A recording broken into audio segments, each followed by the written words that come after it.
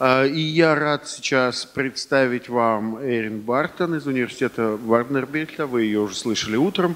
И мы продолжим разговор, который начали в первой половине дня.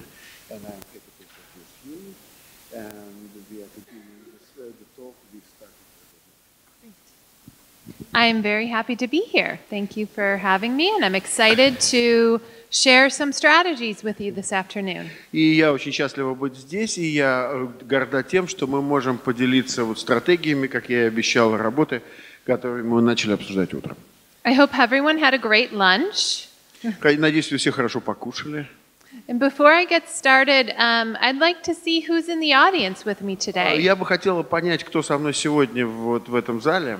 So raise your hand if you're a parent, a family member. А Если вы э, член семьи или родитель ребенка с нарушениями, поднимите руку. Именно the child with disability, yeah? Yeah, yes, Да. sorry, yes. Ага, Great, welcome. How about, здорово, добро пожаловать. how about speech therapist? У нас есть логопеды здесь. Great, Ага. welcome. Do we have physical therapists? У нас or- есть э, э, специалисты по физической реабилитации, физические терапевты. Great. Do we have occupational therapists? Эрготерапевты у нас бывают такие. Th- This specialty doesn't Got it. exist in Russia. How about uh, Специальности нет такой в России, поэтому... early interventionist? Or? Те, кто занимаются ранним вмешательством. Great. Very exciting. Вау. Awesome. Psychologists? Психологи. Ага. А, Social workers. Social workers? Социальные работники. Нет. А, Oh, one of those two. а, Medical professionals. Yeah, and uh, Медицинские работники. Only me. Окей. И э, у нас еще есть also we have people who are managing the social services. Oh, right. Менеджеры и управленцы из социальных. yeah. Мгм. great. It's a great mix. То есть отличная эм, смесь гремучая. So um, to, this afternoon, I'm going to spend a little bit of time reviewing some of the things that I talked about this morning, the rationale and Ну, я немножко для начала повторю то, что было с утра, просто чтобы у нас для записи и для вас все это освежить. But I'm going to spend a lot of time, hopefully, talking about very specific strategies to use with families and children. Но основное время мы все проведем с вами, обсуждая специфические стратегии помощи семье и детям. Um, and is it okay to ask them to ask questions during? А как вы думаете, вы сможете вопросы сразу задавать, если они у вас будут возникать?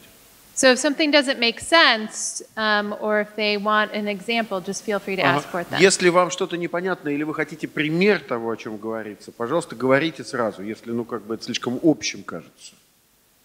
Okay? Хорошо. get started. So um, this is the agenda, and it's very similar to what I did this morning, except I'm going to spend more time on strategies. То есть, смотрите, по плану пункты такие же, но только гораздо больше придется на последнюю часть вот этого плана. So um, this is a lot of what we talked about this morning. Вот мы Uh, начали об этом говорить утром.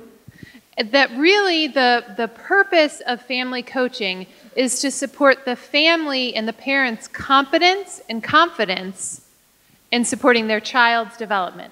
То есть мы уже начали говорить, что вообще поддержка семьи означает сделать их увер- э, уверенными и э, э, в том, что они могут поддерживать своего ребенка и его обучать. And building the parents' confidence and competence helps the whole family. И, соответственно, вот это вот, э, делая их компетентными и уверенными, это помогает всей семье. And parent participation in their child's um, education and development and learning is critical for the child's success. И вот участие родителя в помощи ребенку, в его обучении, в его развитии является критически важным для дальнейшего успеха ребенка. And as we talked about this morning, it's really about building parents' competence to embed learning into daily routines. И как мы уже с вами обсуждали, э, что означает вот эта вот э, компетентность и уверенность? Она означает компетентность и уверенность в изменении э, ежедневных рутин так, чтобы они стали обучающими для ребенка. По-моему, у нас не изменилось, даже стало больше дуть. Девушки, не изменилось, стало дальше больше дуть. We teach parents to be responsive to their children during times of the day that are already occurring, during their na- natural И мы routines. учим родителей участвовать в ежедневных рутинах, которые каждый день случаются, с другой точки зрения, чтобы они помогали развитию ребенка. So we teach parents to communicate and respond to their children during regular meal times, То есть мы учим э, вступать в коммуникацию во время еды обычной, то есть, when they're getting dressed for the day, когда они одевают ребенка, uh, when they're cleaning up, когда они его моют. During all the times of the day that are already occurring, we teach parents to respond to their children and to teach their children new skills during those times. То есть вот все, что уже происходит в семье, мы используем это время и эти активности для того, чтобы научить ребенка новым навыкам. So we know that we can teach parents to be more responsive during those routines, which increases the number of learning opportunities that children receive. Ну и, соответственно, мы знаем, что если э, родитель становится более отвечающим, более чувствительным к сигналам ребенка, это увеличивает количество возможностей обучения для него. And this morning I talked about the transactional model. Ну вот это вот транзактная модель отношений. And it's a theoretical approach to child development that is um, particularly useful when thinking about parents of children with disabilities. И это такая модель, э, которая очень нам помогает, если мы думаем о родителях, у которых есть дети с особенностями развития. Because we know that the environment impacts children, Что Мы знаем, что окружение влияет на ребенка. but it also teaches us that we need to think about how the child or the environment impacts the parent. Но также мы должны понимать, как ребенок влияет на свое окружение, на своих родителей. And so, for children who might have disabilities or health needs, we need to make sure that we support those parents То есть для э, семьи, в которой есть ребенок с э, серьезными медицинскими потребностями или с серьезными нарушениями в развитии, мы должны быть точно уверены, что мы обязательно поддерживаем родителей.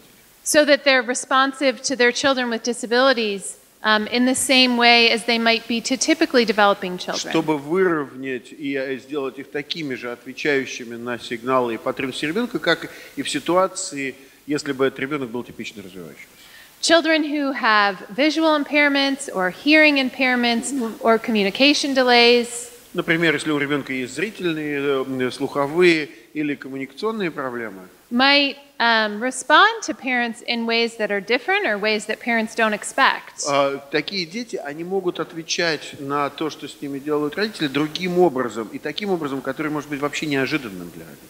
So we need to make sure that we support parents in learning how to be responsive to their children with disabilities, with health needs, or without, so that they can teach them new skills. То есть мы должны понимать, что родители понимают, как они отвечают на сигналы ребенка, как они их вообще видят, так, чтобы это было э, и для ситуации с ребенком с нарушениями, и с типично развивающимся.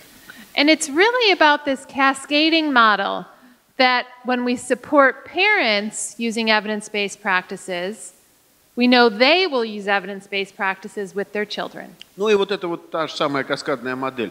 Мы используем практики, основанные на доказательствах, поддерживая родителей. Значит, родители будут использовать практики, основанные на доказательствах, поддерживая своих детей. So we, as the professionals, use evidence based coaching practices. То есть мы, как специалисты, используем вот этот коучинг, тренинг для родителей такой, который основан на практике с доказательной базой. And we teach parents to use evidence based learning practices with their children. И э, точно так же мы учим родителей использовать с их детьми те практики обучения, которые основаны на доказательствах.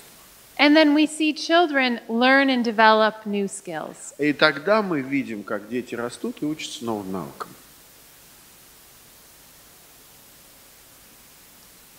And so we know that all of this happens in the context of the family. Ну и все это происходит в контексте семьи. We focus on what's important to the family. Мы думаем о том, что важно для семьи. We use the family's values and beliefs. Мы используем семейные ценности и у- убеждения. And we really focus on the family's strengths И мы основываемся на сильных сторонах семьи.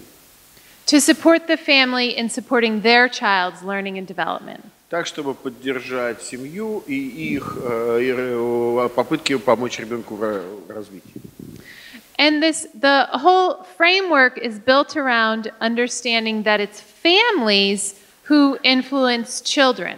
Ну и вот эта вот вся концепция, она построена вокруг убеждения в том, что именно семья влияет на ребенка. And we can support families in teaching them how to embed intervention throughout the day. И мы учим семью внедрять нашу программу помощи в и повседневную жизнь. And so we really focus on maximizing intervention during all those daily routines. И мы, соответственно, вот максимизируем, то есть максимально возможным делаем включение нашего вмешательства в повседневную жизнь. Okay, now we're going to talk about um, specific social skills. So I went over this this um, a little bit this morning, but the importance of social emotional competence um, needs to be stressed when we work with families. Ну и мы уже об этом немножко говорили утром. Действительно, вот эта социально-эмоциональная компетентность, а надо на ней делать очень серьезный акцент, когда мы работаем а, с семьей. Yep. Um, and we really teach families to support their child's social emotional competence. И мы учим ребенка, чтобы он становился все более и более социально-эмоционально компетентным и становился независимым и понимающим себя. And all of this happens within the context of the family И все это происходит в контексте семьи and relationships. и отношений. Um, and we know that supporting children early in learning these social emotional skills sets them up for success later in life. Ну и мы понимаем, что вот обучая социально-эмоциональным навыкам, мы обеспечиваем э, дальнейшие успехи в жизни. So the earlier we start teaching how to be how to be social, how to communicate, how to regulate their emotions, the better um, they're going to do in school. Ну и мы понимаем, что чем лучше мы и быстрее и раньше научим ребенка понимать собственные эмоции, их коммуницировать, тем более успешным он будет в школе. And we know that challenging behaviors or problem behaviors get in the way of doing well in school. Ну и мы э, знаем, что вот это проблемное поведение, оно может мешать в школе, и что мы можем его, э, соответственно, должны с ним работать, чтобы сделать ребенка успешным. So children who don't know how to communicate, who don't know how to interact with their peers, have difficulty in school.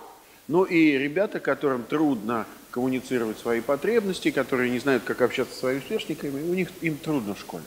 And the social emotional competence is one of the greatest predictors of school success. И вот эта социально-эмоциональная компетенция, она ведет, влечет за собой самые лучшие успехи в школе. And you probably need to mention that every child in the US at least school with some typical peers, because here Oh. it's a different. Oh, yeah. Yeah, so why you are talking about the peers for children with disabilities? Because they all include. Yes. А Я So- ее прошу рассказать о том, что э, ее контекст немножко отличается, и что все дети с нарушениями, они имеют контакт с типичными сверстниками и всегда ходят в школы, где есть другие дети тоже. Мгм. Okay. Ты уже сказал. So um, we also know, and I talked about this a little bit this morning, um, that there are direct links between social emotional competence as a young child and um, positive outcomes. Ну и, соответственно, вот эта социально-эмоциональная компетенция, она имеет прямую связь с дальнейшими позитивными изменениями в по- более поздней жизни. And avoiding negative outcomes. И для того, чтобы предотвратить проблемное поведение. And these figures, it's multiple figures which say the same thing. И essentially. потом много-много всяких вот табличек, которые, по сути, одно и то же вам идею доносят. And teaching social skills is just as important as math and reading and science. И вот повторяя идею о том, что социально-эмоциональное развитие настолько же важно, насколько чтение и э, счет и все остальное. We also know that play is important and that children with disabilities often don't know how to play. И мы также знаем, что игра очень важна, и дети с нарушениями часто не знают, как играть. And so play has practical value because children can play at home. И мы знаем, что игра имеет практическое значение, потому что можно играть дома and at school, и в школе. and it um, is a context for interactions with their peers, with their parents. И это такой контекст, в котором происходит общение с их сверстниками и с родителями, and their siblings. и братьями и сестрами. Um, and we know that children with typical development play. И мы знаем, что у нас дети-то обычно развивающиеся играют. Um, and sometimes we say that children have a right, just like a right to good health. They have a right to know how to play. И вообще, в принципе, мы даже говорим, что ребенок имеет право на игру. Точно так же, как он имеет право на здоровье и медицинское обслуживание, он точно так же имеет право на игру. And we know that play is related to other skills that children need later in life. И мы также знаем, что игра – это важная такая штука, которая напрямую связана с дальнейшим развитием навыков в будущем. such as um, problem solving Thank you. and Таким, Cognitive на- skills. sorry. Sorry. Go ahead. and cognitive skills. Ага. Такими, например, как а, про- навыки решения проблем и когнитивные навыки. Um, so this is a little bit of the research that I went over this morning. I'm just going to go over it again um, quickly. Ну вот, и мы сейчас быстренько пробежимся по слайдам, которые вы видели сегодня утром про исследование. And it really highlights the importance of um, focusing on the parent's responsivity. Отлично. Значит, когда будут вопросы, вы тогда будете нам помогать. Хорошо? А, that's an our interpreter. Oh, great. Вы только вот садитесь поближе, Чтобы я вас видел и сразу вопросом. А там... Да, это переводчик, который будет нам помогать переводить ваши вопросы, чтобы я переводил с английского на русский, а Юля будет помогать переводить с русского на английский, Да, чтобы я успевал все. Окей. Yes. So we know that teaching parents how to teach their children Ну, мы знаем, что то, а, что мы учим родителей, как учить детей, uh, teaching them new skills is critical for their own attachment это очень важно для развития привязанности and the parent and child's um, success. и для успехов, которые могут демонстрировать вместе родители с детьми. So I went over this study a little bit um, this morning, and this study really um, focuses on the importance of coaching families. Я, мы немножко поговорили утром об вот этом исследовании, и оно в основном сконцентрировано на том, каким образом э, заниматься подготовкой, коучингом семьи. And so this is um, this bottom line here is uh, challenging behaviors. И вот, ну, не очень видно у нас лазерная указка слабая сегодня. А, Это вот как раз э, проблемное поведение на начальном уровне. And so we see as we teach parents how to set up the environment and, and reduce their child's challenging behaviors, challenging behaviors go down. И мы, вот эти графики показывают, что если вы учите родителей, каким образом организовать окружение и, соответственно, помочь устанавливать правильные ожидания, уменьшается проблемное поведение. And again, we teach parents these three different types of skills И мы учим родителей вот этим трем разным набором навыков. how to set up the environment to prevent challenging behaviors from happening, Как сделать окружение таким, чтобы предотвратить проблемное поведение. which involve doing things like setting clear expectations. И это вовлекает такой навык, как установка а, ясных ожиданий. So children know what to expect, То есть ребенок знает, что ожидать. using clear schedules. May, may you give an example? Yeah, great. So um, one an example is making sure that parents um, tell children exactly what is going to happen that day, Ну вот, например, ри- родитель говорит ясно, что именно будет происходить сегодня.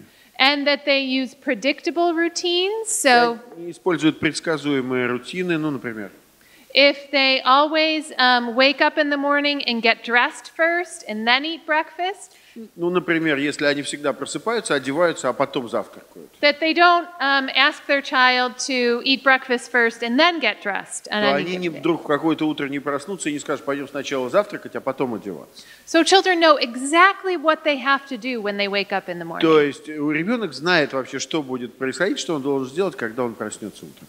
Because that helps children understand what they're supposed to be doing, what the expectations for them are. Потому что, э, собственно, дети должны знать, что им они должны делать и какие, что от них ожидается. And if you think about it, that's important for us too, right? И если вы об этом подумаете, для нас это тоже возм- это важно. I mean, if you came here today and all of a sudden I came in and said, Well, I'm not going to talk about this, I'm going to do something totally different, Ну вот, например, вы сюда пришли, и вдруг выяснилось бы, что она вообще не собирается больше про ранние жесты рассказывать, про что-нибудь другое вам рассказывать. Instead of teaching this, if I tried to do like an exercise class or something, Например, она начала бы вам физзарядку тут устраивать. you'd be confused. Вас бы это как-то смутило.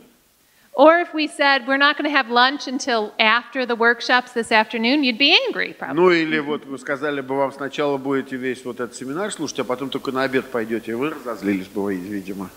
And so it's the same with children. They need to know um, exactly what to expect, and they ni- might need more concrete, specific expectations. Ну и то же самое происходит с детьми, и для них нужны очень вот конкретные, очевидные ожидания, которые мы для них устанавливаем. And it's the same for their behaviors. They need to know what social behaviors we expect of И them. то же самое касается поведения, и они должны понимать, какого рода социальные образцы поведения мы от них ожидаем.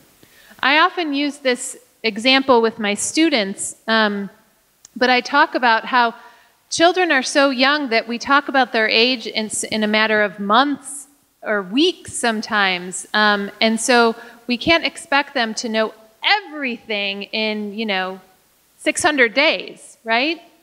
Ну, э, соответственно, я когда своим студентам объясняю, я говорю, мы даже вот о ребенке часто говорим, называя его возраст в месяцах и даже днях иногда.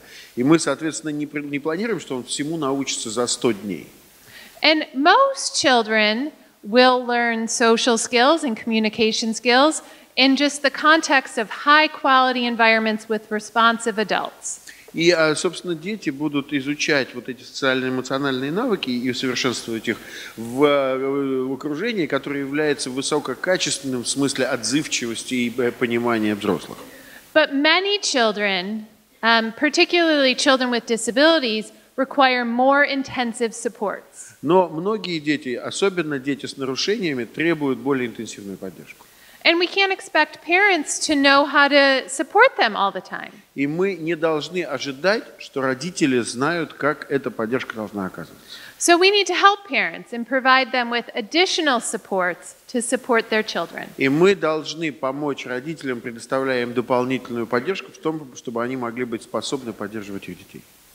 And one of the things we do is help parents set up the environment maybe in a different way so that expectations are more clear. Нам нужно помогать родителям таким образом э, организовать окружающую среду, чтобы ожидания для ребенка становились более понятными. We also might have to teach parents explicit ways to teach their children to communicate. Um, discreet. Ah. И мы также должны э, обучить родителей таким способом обучения, которые являются, которые можно разбить на мелкие шаги, такие вот отдельные. Um, to teach them how to communicate, how to be social, how to interact with their peers. чтобы точно и маленькими шагами учить то, каким образом вступать в коммуникацию, то, как выражать свои социально-эмоциональные потребности. And they also might need new skills regarding things like independence, И также могут быть новые навыки, связанные, например, с независимостью ребенка. how to get dressed on their own, Как самому одеться, например. how to feed themselves, Как самому поесть. how to interact with their friends, Как поиграть с друзьями. How to make friends. Как вообще заводить друзей. And so we oftentimes have to teach parents how to teach their children those skills. То есть мы должны учить родителей тому, как они будут учить детей этим новым навыкам. And then, of course, the other thing that we have to do is teach parents how to respond to those challenging behaviors so that they don't get worse. Ну и, соответственно, еще один набор навыков – это то, каким образом мы учим родителей отвечать на проблемное поведение, так, чтобы оно не ухудшалось, So that they decrease. а наоборот уменьшалось.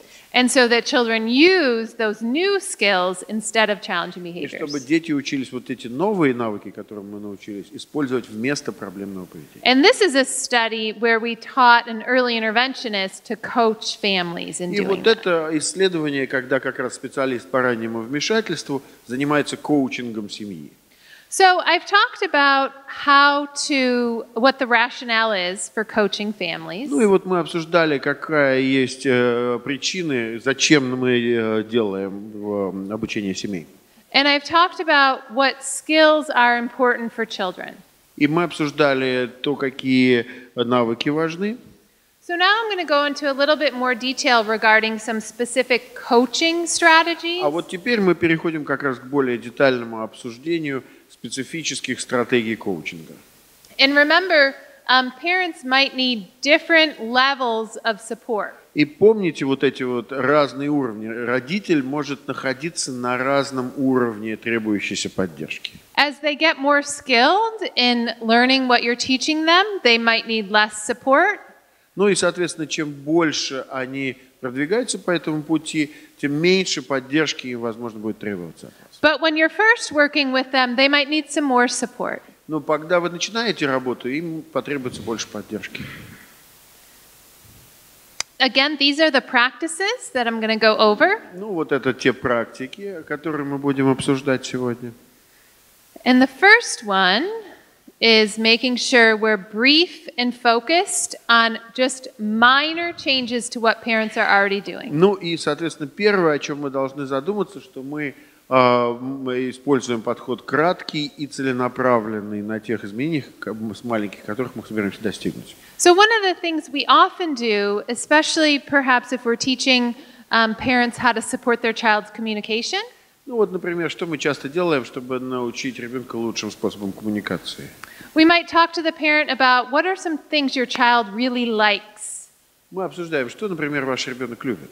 Like, for instance, during meal times. Ну, например, что э, за обедом любит. What are your child's favorite things to eat? Что он любит есть больше всего. And we might tell the parent, instead of just giving the child those things, И мы right, можем обсуждать, что мы больше не будем просто так выдавать любимое. we might teach the parent to teach their child to request it. Может to, быть, мы будem учить родителя дожидаться запроса, просьбы от ребенка, to ask for it during meal times. Просить в, в течение еды. We might um, embed communication strategies into other fun times in the day, like um, bath time.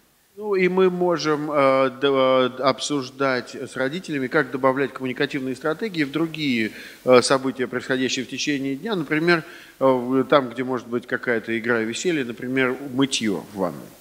Or um, when they're getting dressed in the morning. Или когда их одев- э, они одевают ребенка утром.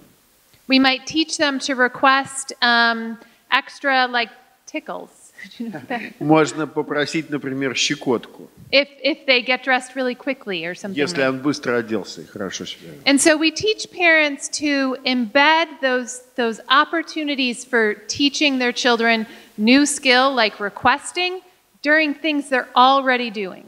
То есть мы пытаемся новый навык, допустим, просьбы, включить в ежедневные активности семьи, которые уже и без нас происходят. And a great way to do that, like for communication, is to think about what does the child want? И, э, собственно, прежде чем мы начинаем это делать, нам бы хорошо узнать, чего ребенок любит и хочет. And then over time, we might teach the child to comment. А также мы иногда хотим научить ребенка комментировать. And by just having the parent talk about what they're doing during those routines. Ну и, соответственно, мы можем... э, So, parent is commenting. Yeah, so the parent can comment on, oh, you put your shoes on or your sweater. Ну и, может быть, комментарий начинается сначала со стороны родителя, когда «О, молодец, ты одел свои штанишки» или «Ты начал натягивать свой свитер». Using words that the child can repeat. Используя такие слова, которые ребенок уже может повторять. And over time, the child will learn to use those same words. Чтобы э, ребенок учился повторять те же самые слова. And if we bed them into routines, И если мы вот это все включаем в э, ежедневные активности, then they hear them multiple times throughout the day. это может происходить множество раз в день. Like if you think about shoes, Например, ботинки или тапки, э, обувь. the child puts them on in the morning, Утром одевает, um, takes them on off at, takes them off at night, перед сном снимает. and ha- probably has multiple other times during the day to А take them on and off. еще наверняка кучу раз в день он их снимает, одевает, снимает, одевает. And so you can embed learning related to putting on shoes multiple times throughout the И day. мы можем включить вот эти вот стратегии обучения много раз в течение дня, а, когда мы, соответственно, этим навыком пользуемся. So, depending on what the skills are that the child needs to learn, you can work with the parents to figure out when to embed those throughout the day. Ну и, соответственно, мы можем э, подумать, как, куда мы в течение дня, в какие рутины можем такие вот вещи включать. And by teaching parents to do that throughout the day, the child gets lots more learning opportunities. И вот, соответственно, дальше у нас что получается? Начал родитель это использовать, и тут же возникло огромное количество новых возможностей для обучения. And this slide just really emphasizes that we want to make minor changes. И вот в этот слайд большими буквами написано «маленькие изменения». Because if we go in and tell a parent you need to do everything different, Потому что Если вы пришли к родителям и говорите, все будет по-другому, they're not going to do anything different. они right? ничего делать по-другому не будут. So we, we work with the parent to just make really minor changes to what they're already Поэтому doing. мы работаем с родителями, добиваясь очень маленьких изменений. But over time, they can become big changes as Но- children learn new skills. Но со временем это приходит к большим изменениям, э, которые накапливаются. But we have to be very patient Но нам нужно быть очень э, And- терпеливым and supportive. и поддерживающим.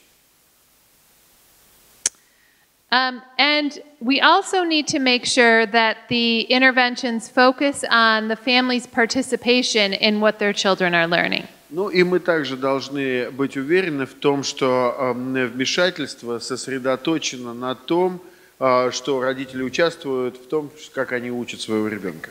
And it, it might be um, very important for us as the professional, too, to think about adapting what we do in response to the parents. И нам нужно думать, как мы адаптируем то, что мы делаем в ответ к родителям. So it's not um, just one size fits all. То есть это э, не, не, не бывает так, чтобы один размер всем подходил. There's no silver bullet, right? Но не бывает такой серебряной пули. We have to make sure that we um, adapt what we do in response to each family. То есть мы должны быть уверены, что мы адаптируем то, что мы делаем, к потребности каждой семьи. Which is really hard work, but really important. Но и это тяжелая работа, но очень важная работа. Um, so this is an example of, of coaching. You Это например стратегии коучинга такого. hands on the Bible at least, but you see she's gonna I'm uninterested. Well, she's got it. She's going. She's going up. Are you going up? Your cheeks are moving really nice. And she's coordinating think everything so. Really just- nicely. She's able to get a good suck. oh, look at those tears. You get yourself so worked out. Hi. Yeah. I'm not leaving you with Diana. No, mommy's here. But her stuff looks okay. There's no It looks reason she shouldn't be able to drink out of a cup, Okay. right? No, Um, she so should in be. this video, she- they're this having is a a conversation about what's going on for this family. So first, they're talking hot about what's drinking. happening. А, На данном видео ведется диалог о том, какая ситуация сейчас происходит. Ведется разговор с семьей. And then they're, they're talking about goals for the family Сейчас обсуждаются цели для данной конкретной семьи, and goals for the child. в том числе для ребенка.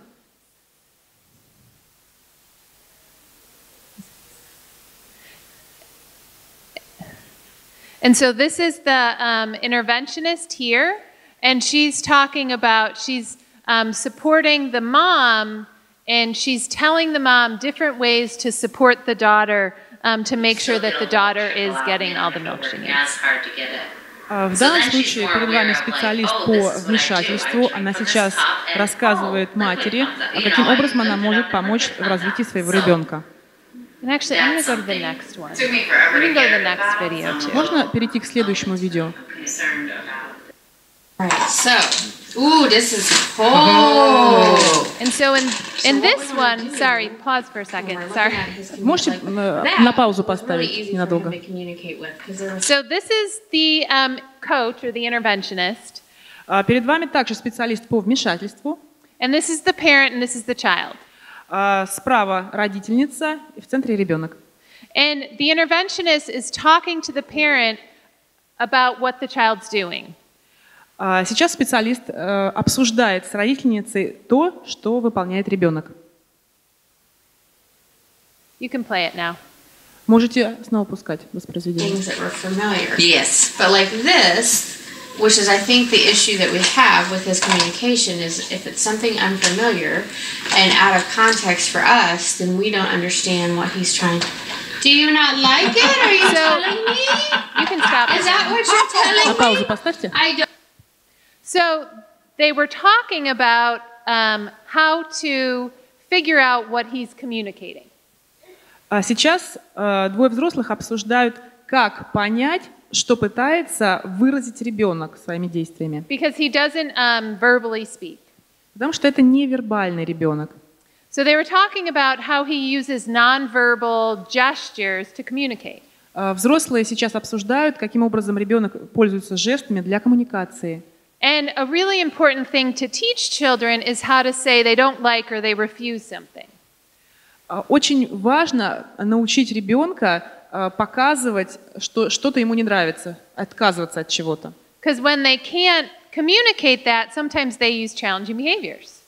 Потому что очень часто, не зная правильных методов, дети используют для демонстрации отказа а, нетипичное поведение, проблемное. So they, they put out this for him to play with, thinking he would like it, В данном случае ребенку предложена игра в пластилин.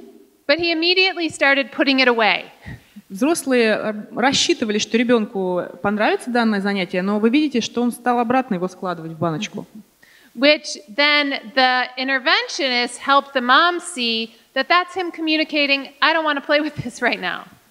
И вот специалист сейчас объясняет родительнице, что э, ребенок таким образом дает понять, что э, он не хочет играть в пластилин, ему это не нравится. And so in this video, um, they continue to have a conversation about what are some other ways he might tell you he doesn't want to do something or he doesn't um, like this right now.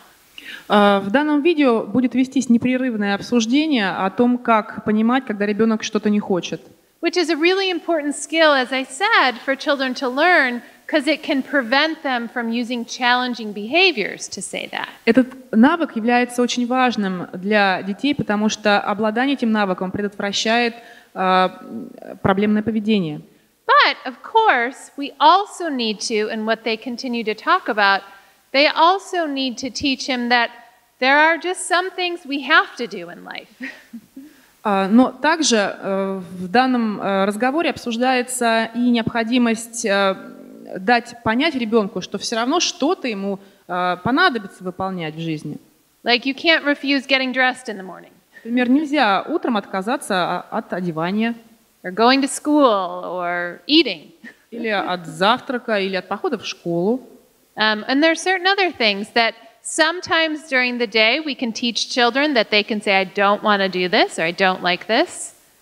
А, То есть э, необходимо обучать ребенка э, навыку показывать, что он что-то не хочет делать, ему не нравится в течение дня. But sometimes you just have to do it. Но э, также обучать его пониманию, что некоторые вещи все-таки делать приходится. And so we teach parents to help um, teach to teach their children that during daily routines and activities. И мы обучаем родителя, родителей, как э, научить этому э, навыку детей, э, внедряя элементы обучения в ежедневные рутины. Like for instance, you don't need to play with that toy right now, and you can say no, and I'll give you another one or another option. Например, если в данный момент ребенок не хочет играть с конкретной игрушкой, хорошо, я ее заберу, хочешь, я дам тебе другую. Um, but there are some things you have to do, like in this picture, you have to get your hair brushed. Но э, некоторых вещей все-таки избежать не удастся. Например, как э, на данной иллюстрации, когда ребенку все-таки приходится вытерпеть расчесывание волос. And if we embed that into families' routines and teach parents how to do that, children get many learning opportunities. И вот когда мы обучаем родителей, как правильно э, внедрять элементы обучения в ежедневные рутины, э, дети получают колоссальные, э, колоссальные возможности для обучения. And the other thing we have to make sure we're doing with families is monitoring progress. Мы также обучаем семьи э, ну, проводить мониторинг прогресса. And that involves two things child skills and learning and development, И здесь необходимо делать упор на два элемента. Это, во-первых, навыки э, самого ребенка и э, обучающее развитие. and um, the parents' confidence and competence in teaching their children. И э, второй момент – это уверенность родителя в собственных силах, когда он обучает ребенка. And so the interventionist works with the family to figure out how they're going to monitor progress. Поэтому э, специалист по вмешательству также общается с родителями на предмет э, именно способов отслеживания прогресса. And we talk a lot about um, using modeling with families. И мы много говорили о том, как использовать моделирование с семьей. So I might um, model how to teach a child to say no with То the есть я могу моделировать, как ребенок может говорить «нет». I might model how to teach a child to request more. Я могу учить тому, как, моделировать то, как ребенок просит еще. We also might make videos, short video clips using like your smartphone Мы также можем наделать маленьких видеоклипов просто с телефоном нашим. so that parents can look at it throughout the day after you leave. И реб- э, родитель будет иметь возможность это видео посмотреть потом, когда вы уйдете. And sometimes I make my own videos of me practicing, sometimes with my son or other children. Ну, иногда я, собственно, поз- э, делаю так, что меня снимают, когда я что-то делаю. Иногда, собственно, там с моим сыном. Or sometimes other parents who are doing it and are willing to share it with other Или parents. иногда это будут другие родители, которые готовы поделиться своим видео. Sometimes we use the parent themselves as the expert. Иногда мы используем родителя самого как эксперта. So we help, we video the parent doing that skill, maybe the first or few times they do it, to talk to them about how great they did and to И мы build their делаем confidence. видео того, как он э, у родителя, у мамы или у папы это получается первые несколько раз, вот этот навык развивать, чтобы рассказать им, насколько они молодцы и у них здорово получается. And then we give it to them, and then they can look at it multiple times to see what they did and, and how they did it. И они потом могут сами себя на видео посмотреть э, и увидеть несколько раз, как это у них получилось, чтобы быть способными повторять это в будущем. That can be really helpful for families to build their confidence, to know they did something well, Ну и это, собственно, очень важно в семье развивать уверенность в том, что они могут что-то хорошо делать. It can also help as a reminder for what they can be doing. Ну а еще это такая хорошая напоминалка, а что именно нужно делать. Like um, one of the things we do often is um, uh, video parents giving their children reminders or setting expectations for the day. Ну, например, что мы часто снимаем, это как родитель да- дает какое-то напоминание ребенку или устанавливает ясные ожидания в течение дня. Um, or using um, strategies during meal times to teach their children to communicate more or I want something. Используя специфические стратегии, э, показывая специфические стратегии, которые родитель может использовать в течение, например, кормления, когда, говоря- э, чтобы ребенок его пр- просил еще или продолжение. I also use this a lot during play when I'm teaching parents to play with their children. Я также использую это довольно часто во время игры, игры, чтобы родители могли учить ребенка играть. So parents see how they are being responsive to their children or sometimes that they're not. Ну вот, э, и здесь родители могут увидеть, насколько они отвечают на сигналы младенца или нет. So we talk about what went well during the video and maybe what they might do a little bit differently next time. И мы можем обсудить, что они уже делают хорошо на этом видео и что, может быть, нуждается в некотором улучшении. And that can really help parents see exactly what they're doing and how the child's responding to what they're doing. И это помогает родителям понять, что делать и как ребенок отвечает на то, что они делают. Which can sometimes be really motivating for parents too, И иногда это очень хорошей мотивацией является для родителей. especially as, as they see on the video um, all of the new skills that their children are learning. Особенно, когда на видео они могут видеть новые навыки, которым учится ребенок. Because sometimes it's hard for parents to see that their children are developing and learning new skills because it all happens so quickly right in front of you. Но э, иногда родителям бывает довольно трудно замечать эти новые навыки, которые у ребенка появляются, потому что они появляются так быстро и прямо перед ними. So having that documentation can really help boost parents' То confidence. есть вот and такое confidence. документирование, видеодокументирование может помочь родителям в этом. Um, and then we also engage parents um, throughout the process in discussions and self reflection about what's working well. Ну и мы также помогаем родителям рефлексировать и обсуждать то, что хорошо работает. Because if we don't talk to parents about what, how it feels for them or, or how they're responding to it, then we're not sure whether or not it's really working. Ну, потому что если мы не обсуждаем с родителями, что происходит, как это работает, мы на самом деле и не знаем точно, работает ли оно. Sometimes when I work with parents, um, there might be skills that um, parents are reluctant to try. Um, Ну, иногда, когда я начинаю работать с родителями, есть навыки, с которыми э, они, в общем, как бы готовы легко работать. or might be complicated. А может быть сложновато. And so we do um, maybe some role play with the parent. So me and the parent, the parent and I might practice the skill То or есть the я прям вот с strategy. родителем начинаю играть в ролевую игру. We, we do this a lot around play and communication skills, Мы очень много обыгрываем коммуникативные навыки. and also around supporting ch- parents in responding to challenging behaviors. А также вот когда родителю нужно отвечать на проблемное поведение. Um, oh, yeah, sure. Um, so, examples of a time that we engage in role play. Я Um, попросил э, примеры ролевой игры, и вот она говорит, ну вот когда мы используем ролевую игру.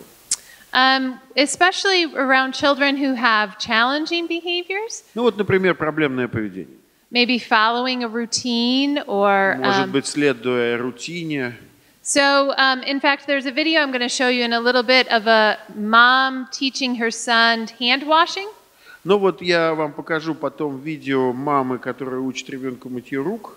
And before we, um, the, the mom worked with the child, we role played how to set up the environment to support the child. Но до того, как мама пошла это делать с ребенком, мы с ней проиграли, как она, собственно, организует окружение и как будет работать с ребенком. So we did a quick practice of how to turn on the water and how to wait for the, the child to ask to turn on the water. Ну вот, соответственно, мы проиграли, как там вода включается, как мы подождем, чтобы ребенок попросил включить воду.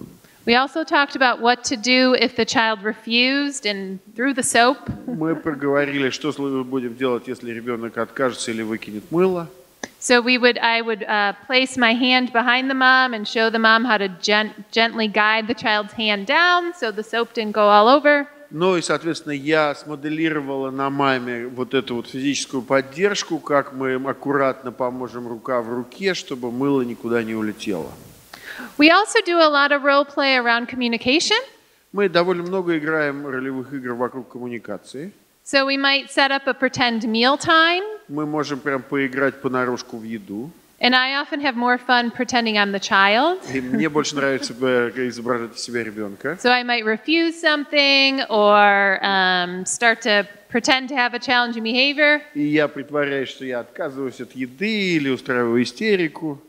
And then prompt the parent how to redirect me quickly. И э, подсказываю родителям, как быстро меня перенаправить. Remind the child what the expectation is. Now it's time to eat. Напомнить, в чем сейчас ожидание, как вот сейчас время есть. And what to do if the child does communicate. So if И the, ch- что сделать, если ребенок проявил коммуникативную поддержку? if the child might be reaching or pointing to what they want, Например, ребенок потянулся или указал на что-то. but we want the child to use words because we know the child can. Но при этом мы-то знаем, что этот ребенок might- может использовать вербальные просьбы, и у него есть слова. I might role play how to wait and, s- and um, tell the parent, support the parent in telling the child, say juice. Ну и, например, мы можем учить э, маму ждать, пока ребенок не попросит, если он может это сделать, или моделировать «скажи сок». So that the parent learns how to teach the child to communicate during those routines. Чтобы ребенок учился, как вступать в коммуникацию в течение вот этих вот ежедневных And, активностей. and what to do if the child does have a challenging behavior. А что потом делать, когда у ребенка случилось проблемное поведение? We also talk a lot during role play about sometimes when you're first starting to implement an intervention around challenging behaviors, Мы также очень много обсуждаем во время ролевой игры, что делать, когда вы первый раз видите проблемное поведение. things get a little bit worse. Э, И потом, challenging behavior gets more и когда вы начинаете, извините, когда вы начинаете работать с проблемным поведением, оно начинает ухудшаться. Because what has been working for the child no longer works. Потому что до этого это на ребенка работало, а теперь вдруг он перестает получать то, что получал. So the child might scream louder or for longer. То есть ребенок начинает кричать громче, дольше. So we role play with the parent how to stay calm in those situations. То есть мы прям проигрываем с родителями, как оставаться спокойными в данных ситуациях, so that the parent doesn't inadvertently teach the child to have a more intense challenge То behavior. есть, чтобы не случилось так, что мы в итоге научим ребенка, что надо просто погромче орать или посильнее выражать свои требования. And it's so those are some times that it's really important to role play to help parents understand um, and expect um, that things might get a little bit worse or might be um, different than they expect. Ну и вот ролевая игра может помочь нам а, м, проиграть с родителями ситуации, когда мы знаем и ожидаем, что может быть им потяжелее, посложнее будет поведение ребенка, или, в общем, ожидать какие-то неожиданные Great, there's a question. Ага. У меня больше, э, здравствуйте, у меня больше не вопрос, э, возможно, да, а может быть просьба. А скажите, пожалуйста, невозможно сейчас э, вот пример ролевой игры показать в практике? Oh, me? On me or... Yeah, Sure. on the lady. You want to practice? Sure. Хотите вы? Давайте, идите. So, what do you do? Okay, so А? Так, сейчас только решить. what do you, what skill do you want to teach? Э, Чему вы хотите учить? Какому навыку? Например, чтобы ребенок э, садился за стол, э, там, я не знаю, порисовать с мамой и не отказывался от этой Oh. деятельности. Например, подойдет? Refuses to draw and sit at a table. Oh, yes. Да, что-нибудь продуктивное. Oh, okay. So the first thing I might do is if um, you're the pretending to be the child, and I is that do you want to be the child? А хотите быть ребенком? То есть поначалу хорошо бы, чтобы вы были ребенком. Ага. Подождите, подождите. Вы ждите, ждите и слушайте. Вас спросили, вы готовы быть ребенком? So, Все, теперь слушайте. so I might start with um, using specific language, like it's time to color. То есть, например, мы можем учить использовать специфический язык. Например, время рисовать.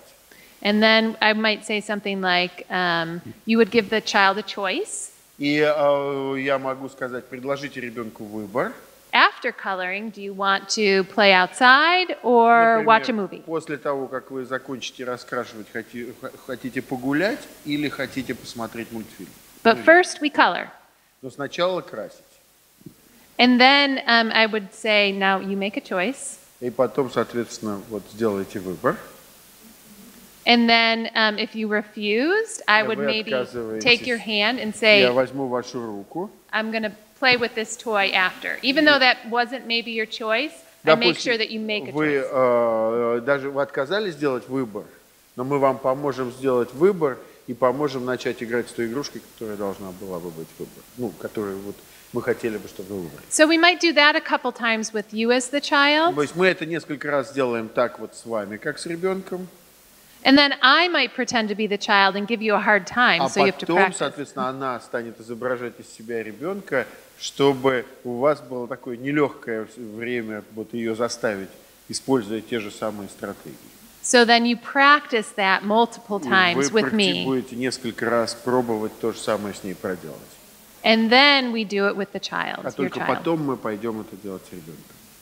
Does that make sense? Как-то это понятнее сейчас стало? Окей.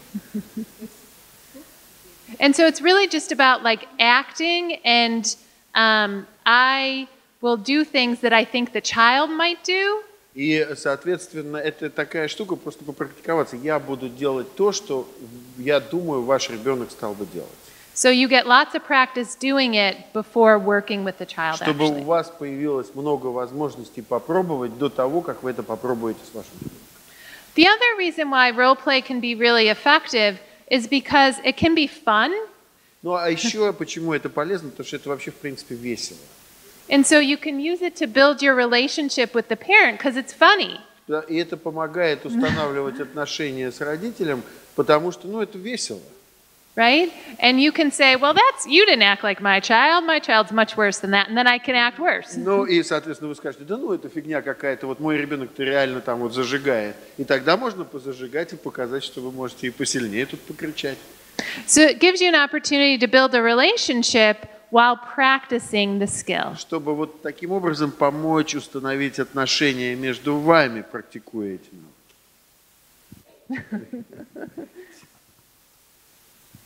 Are there other questions? Вопросы еще? Great.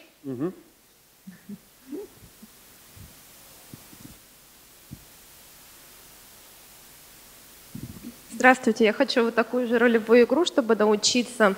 Вот представьте, что я ребенок, а, хочу проситься на горшок э, у себя дома и в чужом помещении.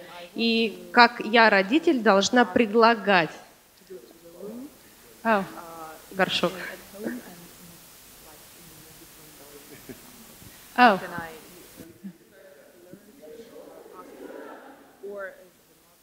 Is it possible to uh, make another play Sure. about the, the pot, potty training?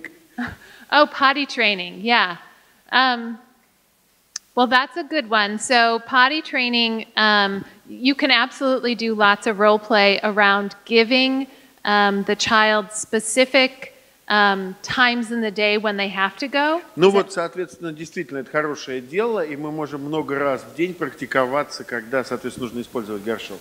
So, again, you might give the child a choice. Um, you know, after you go potty, do you want to play a video game, watch a movie, То есть здесь something вы really можете cool? начать с того, что обсудите с мамой, какой выбор можно предложить, что ты сделаешь после того, как пойдешь на горшок.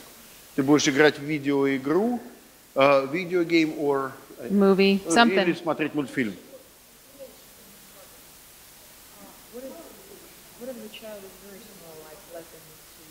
Oh.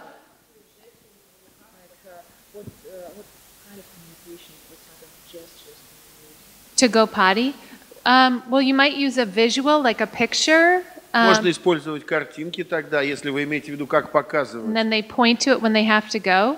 А, But when kids are that young, you want to have them go every 15 minutes or so. Но если это такой маленький ребенок, мы просто будем чаще на горшок Or высаживать. half hour, 30 Uh, minutes. and here, the parents are very often preoccupied by the potty training. It's kind of culture. Oh, yeah. А я говорю, что у нас это очень такая важная, мы иногда вот слишком рано начинаем, просто, может быть, ей даже не очень понятный вопрос. А в каком возрасте вы имеете в виду? At, at age of two, if they would like to start that. How a child at age of two should ask for the, uh, for the toilet in a public space? Oh. Я извините. In a public space, right? You said that. At the age of two. Well, um, yeah, you could use a diaper or something. Советов для публичного места, если он еще не уверенно просит горшок, может быть, использовать подгузник Or sign в language. два года, или использовать, ну, that's not appropriate for Russia. В Штатах это вот Sorry. жест означает про- то писать, да, в туалет. That's rude. же- Oh, I'm sorry. Извиняется, что она грубый жест показала вам. Куда- Но для них это не книга, это для них... I типа, promise that's not what it is in sign language. Это вот она не имела в виду ничего вам показывая.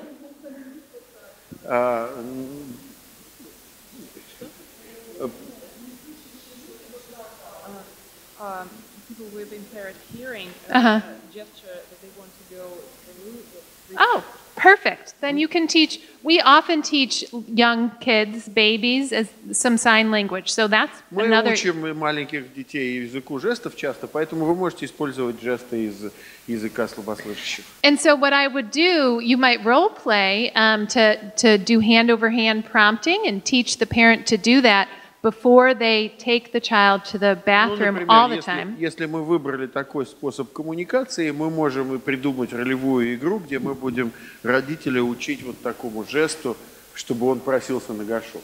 And then make sure they do it when you're out in the community too. И чтобы научить ребенка также делать это в а, общественном месте. But also maybe it's good to talk about the, you should teach in the family first than generalization. Oh, for sure. Yeah, we do it all the time at home. You do this at home first, um, and then out in the community. Но на самом деле, вот я ее попросил сказать пару слов о генерализации, вы никогда не начинаете в общественном месте раньше, чем в семье. Вы сначала все это изучите и научитесь дома, а только потом будете все это пробовать внедрять где-то в общественном месте. And so you want to make sure you do it multiple times a day at home and that you do it with the child, that you might hand over hand prompt the child to do that. И вы должны быть уверены, что вы уже миллион раз это дома сделали, и что вы ребенку помогли этот жест показать, прежде чем вы потребуете это в общественном месте. And the more we do that at home, and and then when you are out in the community, you can support the child doing it just a few times, and sometimes they pick it up fast because you've done it so well at home. Ну и, соответственно, если вы много раз это дома сделаете, потом где-то в общественном месте это очень быстро случится. Yeah. А,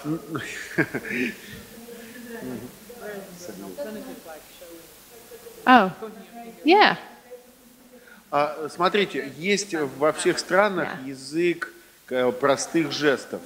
У нас э, есть язык э, глухонемых, но нет языка простых жестов, поэтому мы каждый свой придумываем.